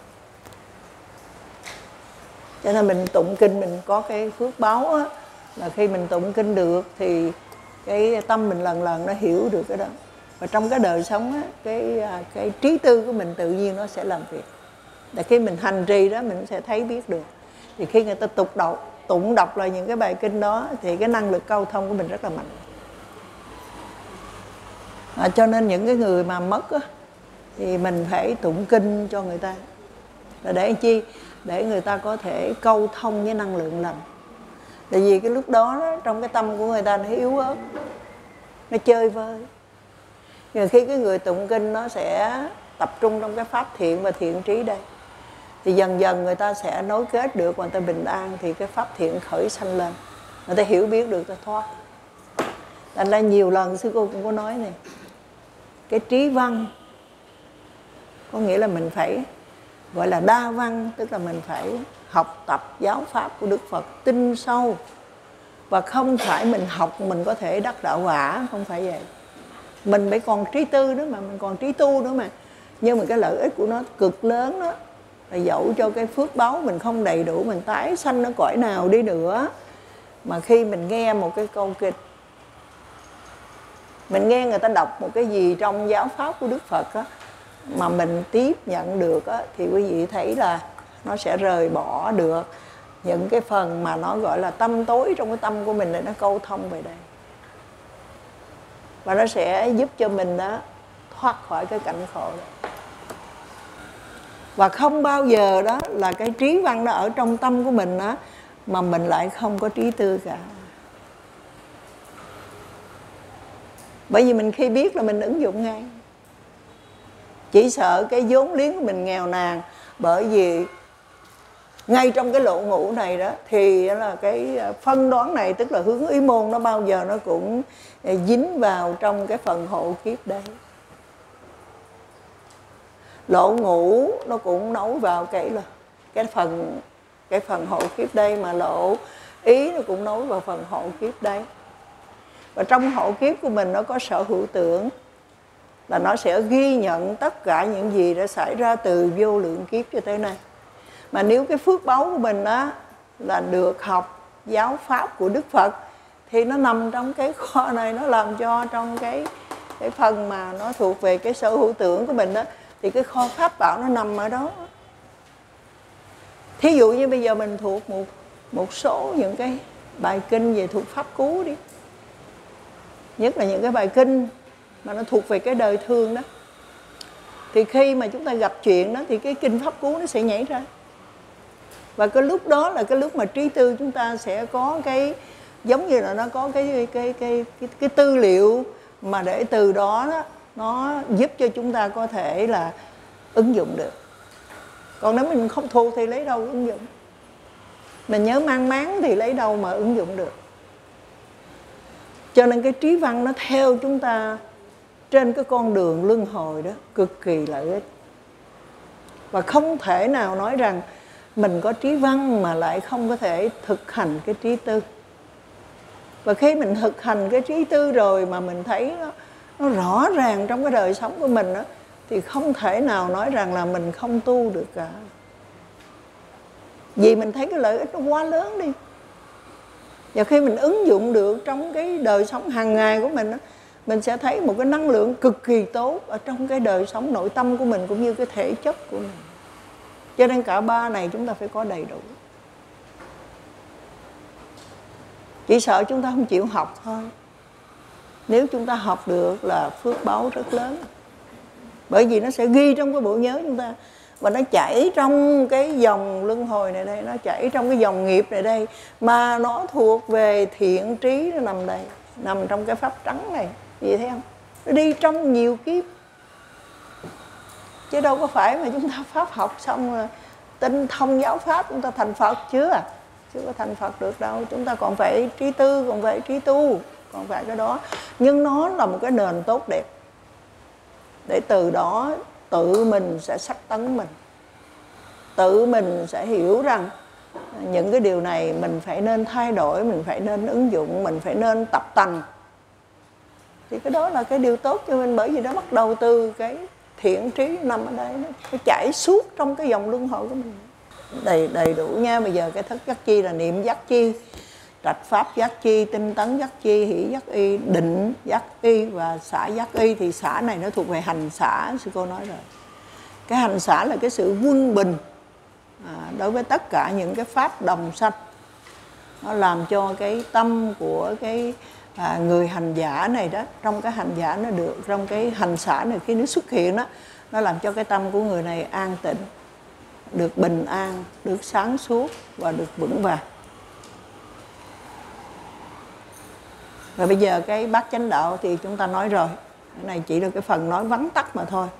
Thì như vậy chúng ta sẽ thấy là trong cái pháp thiện nó sẽ có hai phần. Một cái phần tâm các cái tâm thiện thiện trí 25 sở hữu tịnh hảo và 37 phẩm trợ đạo. Đó là cái phần thiện. Bây giờ chúng ta qua cái phần pháp bất thiện. Pháp bất thiện thì chúng ta cũng sẽ có những cái tâm bất thiện.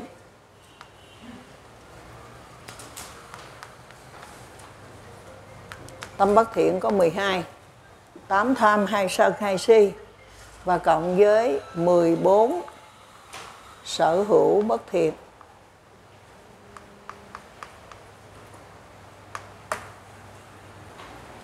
Chúng ta cần phải học đi học lại những cái pháp bất thiện này và để nắm cái nguyên tắc hoạt động của nó. Và khi chúng ta ứng dụng vào trong đời thường á, thì chúng ta sẽ thấy nó diễn ra y như thế. Diễn ra y như thế. Và khi chúng ta hành thiền đó thì chúng ta sẽ thấy những cái vi tế của nó. Mà cái nguyên tắc của nó sư cô rút lại rất là gọn.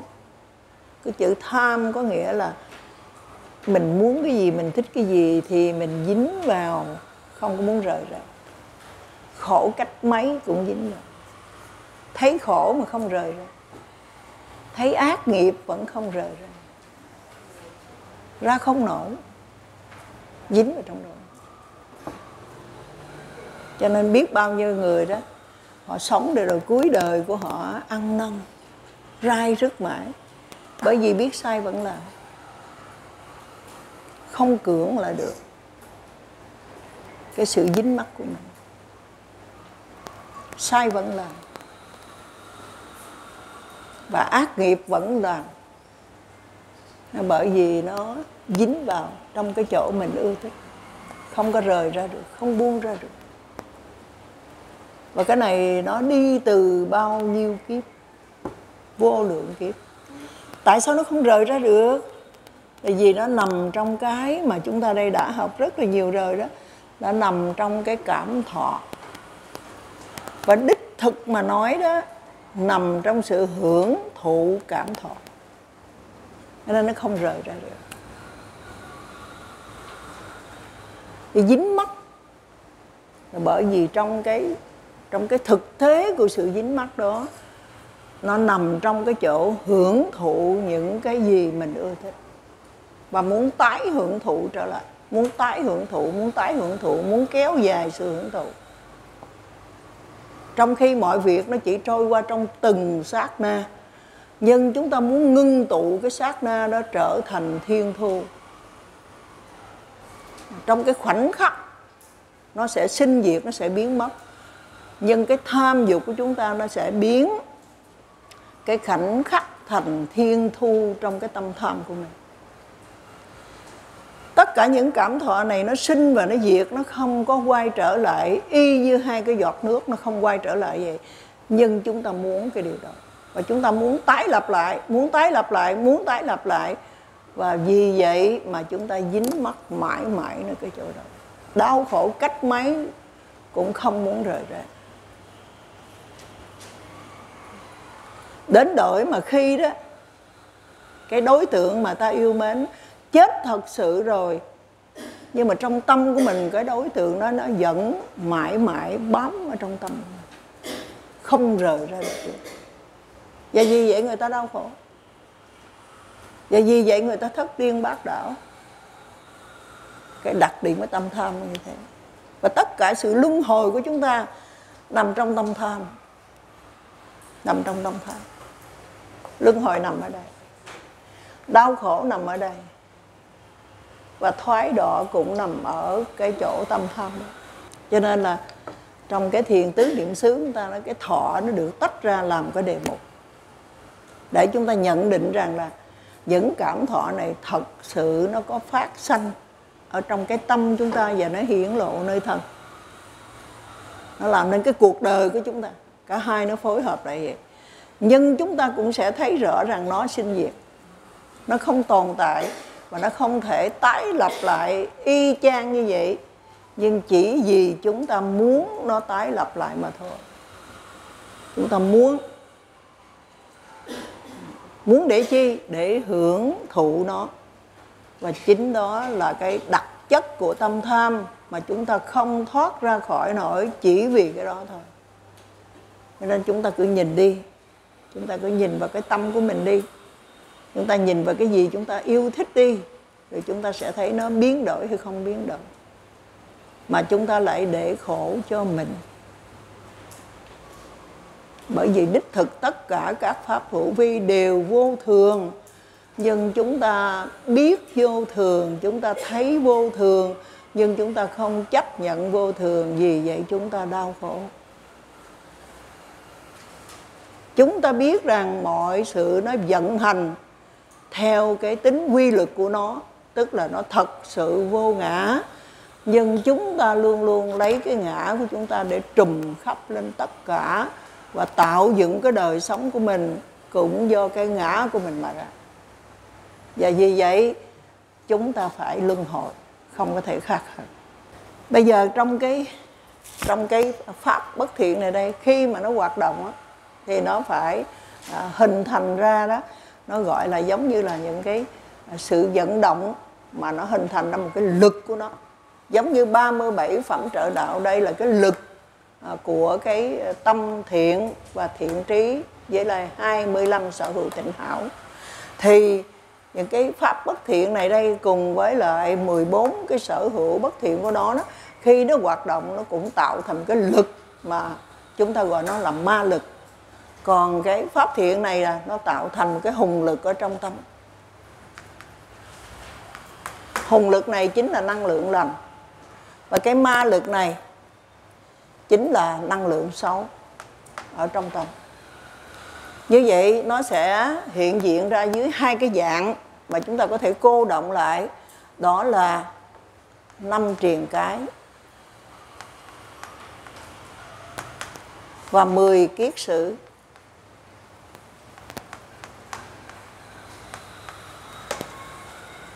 Gọi nó là triền cái là bởi vì đó nó là một cái chướng ngại.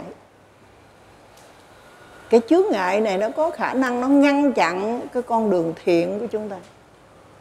Nó ngăn chặn con đường thiện trí của chúng ta. Nó ngăn chặn cái con đường tiến tới niết bàn. Cho nên gọi nó là triền cái. Chúng ta có tham, có sân. Thì cái tham sân nó khi nó mới khởi lên ở mức độ đầu tiên của nó là mới khởi lên chưa là gì cả. Nhưng nó nhóm hợp nhóm hợp nhiều lần nhiều ngày. Khi mạnh khi yếu. Và khi nó trở thành cái lực mà nó gọi là cái truyền cái đó thì chúng ta sẽ thấy là nó sẽ ngăn trở. Thí dụ như vậy. À, mình tạo một cái thói quen là mình hay à, à xem phim à, hoặc là những cái ờ, gì đó mà linh tinh mà mình muốn coi nó như là một cái ờ, giải trí trong cái đời thường thôi. Thì đối với thế gian cái chuyện mà ta giải trí chuyện xem phim là cái chuyện cần phải có mà thôi. Nhưng mà khi mà mình mình đứng trên cái góc độ của tâm để mình nhìn đó thì mình sẽ thấy là không phải tất cả những bộ phim không phải tất cả những cái món giải trí đều là những thức ăn lành mạnh. À, cho nên có những cái thức ăn mà nó đem đến cái sự bệnh hoạn ở trong tâm mà chúng ta không nhìn ra. À, cho nên có những người xem cái xong cái phim đó hay là cái vở kịch đó rồi đó thì lúc xem là cũng khóc mà xem rồi thì cũng buồn. Mà chúng ta không biết rằng là chúng ta đã bị nhiễm bệnh. Dạ. Và khi chúng ta nghe những cái câu chuyện của tất cả những người mà có cái mối quan hệ trong đời sống chúng ta đó, thì cũng chẳng khác nào chúng ta nghe một cái vở kịch, một cái chuyện về phim. Thì những cái cảm xúc của chúng ta nó cũng lẫn lộn như thế. Và khi nó khởi lên như vậy đó, thiện bất thiện thì chúng ta không biết. Chúng ta không phân biệt, bởi vì nó khởi lên là chúng ta thuận theo nó mà thôi. Mà ngay khi chúng ta ứng xử với tất cả những cái quả của chúng ta đó thì chúng ta cũng ứng xử nó một cách hồn nhiên mà thôi. Chứ chúng ta đây cũng không có thể nào biết rõ được nó là những cái ứng xử đó thiện hay bất thiện. Nhưng mà lâu ngày dài tháng nó sẽ tích lũy là một là thành pháp thiện hai là thành pháp bất thiện. Thì cái pháp bất thiện mà nó đủ cái lực đó để nó ngăn chặn thì chúng ta sẽ thấy thôi. À, bây giờ người ta à, ngày rằm mùng một người ta rủ mình tối nay đi à, đi đến chùa để tụng sám hối. Thì nghe cũng hay đó. À, nhưng mà à, sáng nay rồi được cái tin là đêm nay là mấy giờ đó 7 giờ tối rồi nó có cái chiếu một cái tập phim mới mà bỏ qua rất uổng. À, cho nên thôi cái cái vụ tụng sám hối được rồi không sao để bữa khác đi tuần sau đi cũng được. Mà cái này mà mình không coi thì biết ờ, lấy đâu mà coi trở lại. Thôi là cái lúc đó là lùi lại không có làm. Thành ra đó cái thói quen mà mình thích thú à, với những cái cảm xúc mà nó thuộc về cái đời thường như vậy mà ta gọi là trong tâm của cái người phàm phu đó mà mình không phân biệt được. Cái tâm này nó thuộc về pháp thiện hay pháp bất thiện? Nó là cái nuôi dưỡng cái đời sống nội tâm của mình hay làm bệnh hoạn cái đời sống nội tâm của mình đó, thì nó sẽ trở thành một cái cản trở. Cản trở đó là một cái chướng ngại. Nó ngăn chặn cái con đường thiện của mình ngăn chặn con đường tu tập của mình, ngăn chặn con đường đi lên của mình. Và tất cả những cái thói quen thụ hưởng, nó đều trở thành một cái trở ngại, một cái chướng ngại và nó gọi đó là cái truyền cái nó rất là đa dạng chứ không phải một thứ đâu. Ở đây mình nói có một thứ thôi. Thì bây giờ truyền cái này nó gồm có năm. Thứ nhất, cái đứng đầu của nó bao giờ cũng là tham truyền cái và cái tham này nó đi lạ lắm, đi từ vô lượng kiếp sư cô mà gặp nít này hay chọc. Nói này, con, đi tu không? Không không. Không đi tu cũng vậy đó cạo cái đầu để cho nó mát. Không không. Nó dịnh lại vậy đó và nó phản ứng liền, nó dịnh cái đầu nó trở lại nó khóc liền. Đâu có ai dạy nó nói đâu. Bởi vì nó đâu có đâu có đâu có biết ai mà bất ngờ mà hỏi cái chuyện kỳ cục kia đâu có biết. Nhưng mà nó phản ứng liền bởi vì sao? Bởi vì ta nói cái răng, cái tóc là gốc con người. Cái đẹp nó nằm ở chỗ cái tóc. Nó còn nhỏ, nó chưa có ý thức được rằng cái tóc của nó là đẹp hay không đẹp.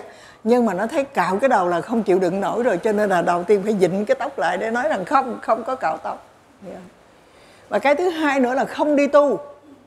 Bởi vì nó chẳng có biết đi tu là cái gì hết, nó không biết gì hết á nhưng mà tiền kiếp nó đã biết rằng đi tu có nghĩa là không có được hưởng thụ như ý muốn đâu. Thì thấy rõ chưa? Nó nó không có suy nghĩ, nhưng mà cái phản ứng của nó đã nói rõ lên rằng nó có biết việc này. Cạo cái đầu là nó xấu lắm rồi, không có chịu đâu. Để mà còn bím cái tóc lại, để mà buộc nơ lên, để mà chải tóc tất cả mọi thứ nhỏ xíu à bốn, năm tuổi thôi, cũng đã biết rồi. Cho nên không có chịu.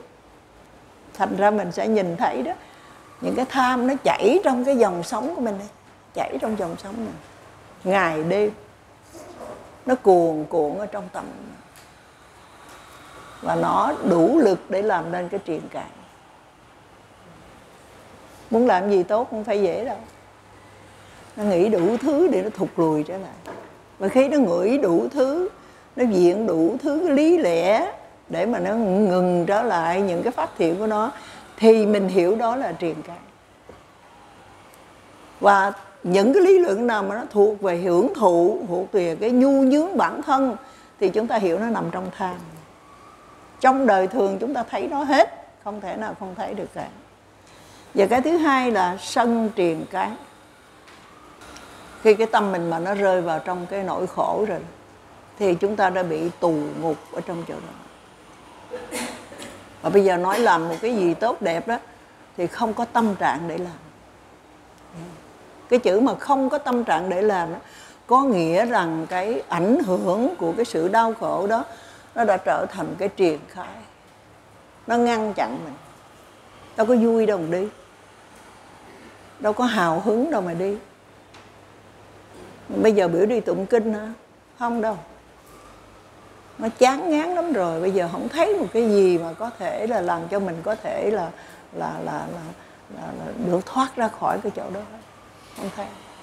Nên nó ngừng lại. Nó làm thành cái cản trở. Cái thứ ba là hôn thủy truyền cái. Hôn thủy truyền cái. Hôn thủy đây là hôn trầm và thủy miên. Hôn trầm là buồn ngủ thụy miên là ngủ luôn. Ừ. nói cho dễ hiểu. Còn nếu mà nói ờ, thêm chút nữa là hôn trầm là gì? Hôn trầm là làm biến thụy miên á, là chìm đắm và hưởng thụ trong cái làm biến đó. Làm biến là sướng lắm. Cho nên làm biến được chừng nào tốt chừng đó hôn trầm thủy miên còn có thể hiểu như thế này. Tất cả những gì mình ưa thích thì mình đều có sự gọi là si mê. Mê muội trong cái sự ưa thích đó. Và nó nặng hơn nữa thì nó đắm chìm trong cái sự ưa thích của mình, nó gọi là thủy miên. Người ta chìm trong đó, ta không biết được đâu đó là hôn trầm thủy miên vậy trong cái tâm của nó, nó bắt cái cảnh đó bắt cái cảnh đó bắt cái cảnh đó bắt cái cảnh đó. Và nó đó là à, coi như là chìm trong cái sự thọ hưởng. Nó gọi là hôn trầm và thủy miên. Cái thứ tư gọi là trạo hối. Trạo có nghĩa là phóng dật. Hối là sở hữu hối đó tức là cái tâm của mình đó nó tán loạn, nó không yên, gọi là phóng dật.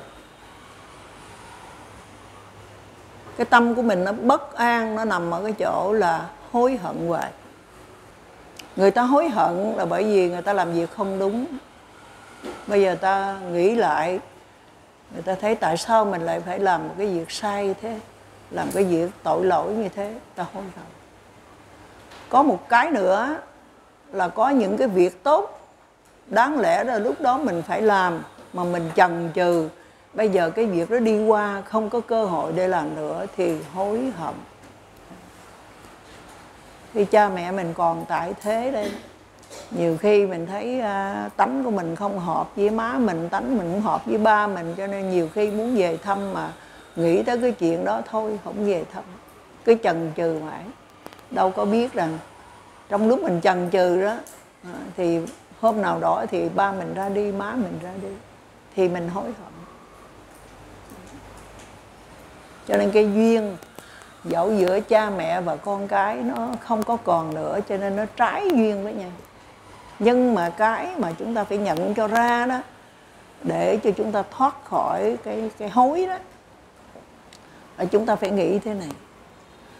Nếu như mẹ mình đã không gìn giữ mình á thì mình không có chào đời được đâu. Mà mình phải chết trong cái thai bào bởi vì bà sẽ loại bỏ mình. Bây giờ bà đã sanh mình ra rồi, mà bà nuôi cho mình được nên dốc, nên hình như thế này đó, thì cái công ơn đó không thể nào kể xiết cả. Còn bây giờ cái phước duyên giữa mẹ con, giữa cha con nó không còn đầy đủ nữa, cho nên những cái gì cha mẹ mình suy nghĩ nó không hợp với mình và nó không hợp với mình, không có nghĩa rằng là mình đây đó là coi như phủ nhận tất cả. Không phải như thế. Bổn phận mình làm con, thì bao giờ cũng phải nghĩ tới cái công ơn đó. Công ơn đó cực kỳ lớn lao. Bởi vì chỉ cần cha mẹ mình sơ sẩy, thì cái đời của mình không biết sẽ trôi dạt ra sao. Sư cô có một lần đã đi đi ở bên ấn độ đó, ra một cái công viên, đi ngang cái công viên. Thì thấy một cái một cái cô đó còn trẻ, mà cái đứa con trai của cổ khoảng 5 tuổi thôi. Mà cổ đủ can đảm á, cổ lấy cái tay của cổ mạnh khỏe lắm, cổ to lớn lắm. Cổ xách một cái cánh tay đứa nhỏ, cổ dở hỏng nó về cái đường mình thấy mình xót cả ruột gan, bởi vì nó có thể gãy cái cánh tay này bất cứ lúc nào thì chúng ta nghĩ nếu mà mình có một cái người mẹ như vậy đó và nhiều lần như vậy đó thì cái thân thể mình có toàn vẹn hay không? Cho nên phải nghĩ tới những cái công ơn đó mà dẫu cho mẹ cha mình với bản thân mình đó, mà nó có cái nghịch lý bao nhiêu đi nữa đó thì mình đây đừng để cho mình phải hối hận. Cái việc của mình làm là hãy luôn luôn coi cái người sanh thành ra mình đó đích thị là cha mẹ mình cái gì có thể làm tốt cho cha mẹ, cái gì có thể làm cho, gọi là, hết cả cái lòng biết ơn của mình đối với cha mẹ, hãy là đừng có để cho nó hối. Cho nên thường thường cha mẹ mà chết á, thì con luôn luôn khóc. Và nó khóc khóc nhiều chừng nào người ta tưởng thương cha mẹ chừng đó. Nhưng mà thật sự trong quy diệu pháp đó, thì nó khóc chừng nào nó thể hiện hai điều cái điều thứ nhất là nó hối. Tại vì chưa có kịp đối xử với cha mẹ tốt như mình mong muốn, thì cha mẹ đã ra đi. Đó là cái thứ nhất. Cái thứ hai nó nằm ở cái chỗ này. Cha mẹ là con bò sữa của mình. Bởi vì muốn có gì có đó, đau khổ cũng về kêu, thiếu tiền cũng về kêu, mắc nợ cũng kêu, bệnh đau cũng kêu, cái gì cũng kêu là con bò sữa. Thế bây giờ đó là cái con bò sữa này nó không còn thì nó tiếc biết bao nhiêu là tiếc. Vì lấy đâu mà hưởng nữa. Cũng như mình đang uống cái chai sữa vậy, trẻ con đang uống chai sữa, mình đang uống sai xưa thế nên mà giật cái chai sữa ra thì nó phải khóc ré lên thôi. Người ta khóc vì hai cái đó. Vì khóc bằng tâm sân. Còn cái người á, mà ta không có khóc trong lúc mà cha mẹ người ta vậy đó, thì phần lớn người ta nghĩ rằng là lúc cha mẹ mình còn sống đó, những cái gì tốt đẹp nhất mình có thể ứng xử với cha mẹ thì đã làm đầy đủ rồi. Không có gì phải hối cả cái thứ hai nữa, khi người ta học giáo pháp, người ta biết đó, thì cái giờ cha mẹ mình ra đi đó, cái gì quý nhất trong đời mình á, hãy đem mà hiến tặng cho cha mẹ. Cái quý nhất trong cái đời mình á, chính là cái thiện và thiện trí đấy cái sự trong sạch và sáng suốt trong tâm của mình đấy. Hãy dùng cái đó để mà cầu nguyện, hãy dùng cái đó mà niệm phật, hãy dùng cái đó mà nói một cái lời rất là chân thật sau cùng của mình đối với mẹ. Mẹ hãy an lòng ra đi. Con đã đủ vững vàng trong đời sống để không làm điều gì sai quấy cả. Tất cả những phước lành con làm được con bao nhiêu phước con xin hồi hướng hết cho mẹ, hồi hướng hết cho cha đâu có khóc được đâu.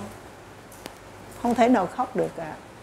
Và ráng hết sức mình để mà làm cho cái tang lễ này nè à, nó được vẹn toàn. Và sau đó người ta cũng nhớ người ta cũng thương. Người ta cũng rơi nước mắt vì cái sự mất mát của người ta. Nhưng nó không phải là một cái sự tán loạn ở trong tâm.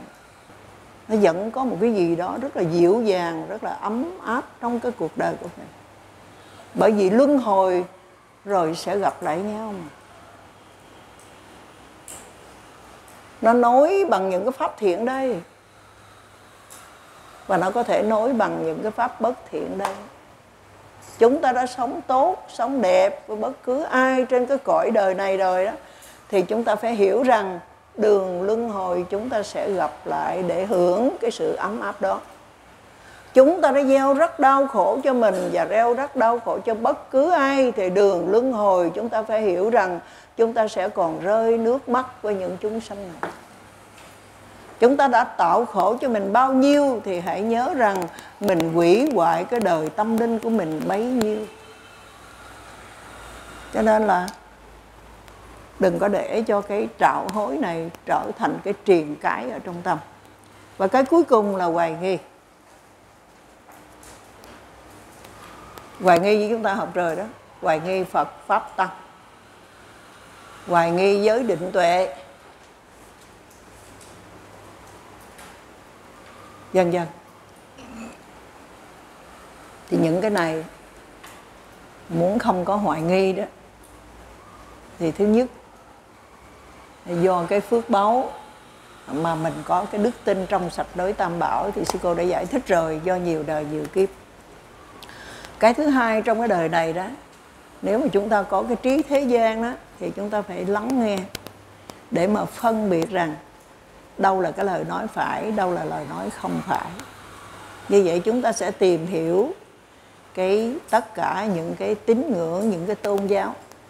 Và chúng ta sẽ tìm thấy nơi đó những cái điều tốt đẹp nhất mà nó phù hợp với chúng ta thì chúng ta sẽ chọn lựa. Và cái con đường đó dần dần à, nó sẽ làm cho chúng ta trăng trưởng một cái niềm tin và nó trở thành là cái chánh tín cái gì tối thượng nhất trong cái trong cái sự phát triển về tâm linh của chúng ta chúng ta sẽ nhận ra. Và một cái câu nói chung nhất mà để chúng ta có thể đi tìm hiểu về các tín ngưỡng và tôn giáo đó thì tất cả những cái tín ngưỡng nó đều nằm ở cái cấp độ của thật tất cả các tôn giáo nó nằm ở cái cấp độ là chư thiên là thượng đế. Và cái con đường của tín ngưỡng và tôn giáo là cái con đường đó là nó đem đến cho người ta một sự tin cậy à, một cái một cái sự nương tựa mà người ta hướng tất cả đều đi vào con đường lành. Nhưng chỉ duy có phật giáo không phải là một cái tôn giáo nhưng là một cái chân lý về tâm linh có thể giúp đưa cho người ta đó, tìm hiểu và hành trì để đưa đến cái chuyện mà chúng ta thoát khỏi những cái đau khổ thoát khỏi cái sự nhầm lẫn mà chúng ta đang nhầm lẫn từ trong suy nghĩ của mình. Những cái gì khởi lên trong tâm chúng ta đó chúng ta nhầm lẫn chúng ta không phân biệt được. Và vì vậy đó chúng ta chấp nhận cái dòng chảy của cái quá khứ này à, vừa cái xấu vừa cái tốt này đó trở thành cái đời sống đích thực của chúng ta. Cái tai hại nó nằm ở chỗ đó. Và khi chúng ta hiểu biết đó thì chúng ta phải hiểu là cái dòng chảy này nó chảy suốt trong cái đời sống nội tâm chúng ta và nó luôn luôn nó khởi lên. Nó khởi lên một mình nó khi nó bắt cái cảnh bên ngoài nó thay đổi nó vẫn khởi lên trong cái tâm này và nó làm cho cái dòng nghiệp này nè nó càng lúc nó càng phong phú mà chúng ta tách nó ra được thì chúng ta sáng suốt. Chúng ta không có sai lầm và cái năng lực mà chúng ta tách rời hai cái này, cái năng lực mà chúng ta làm cho nó, tất cả những năng lượng lành của chúng ta càng lúc càng mạnh mẽ hơn lên, đó là cái lý tưởng của cuộc đời chúng ta.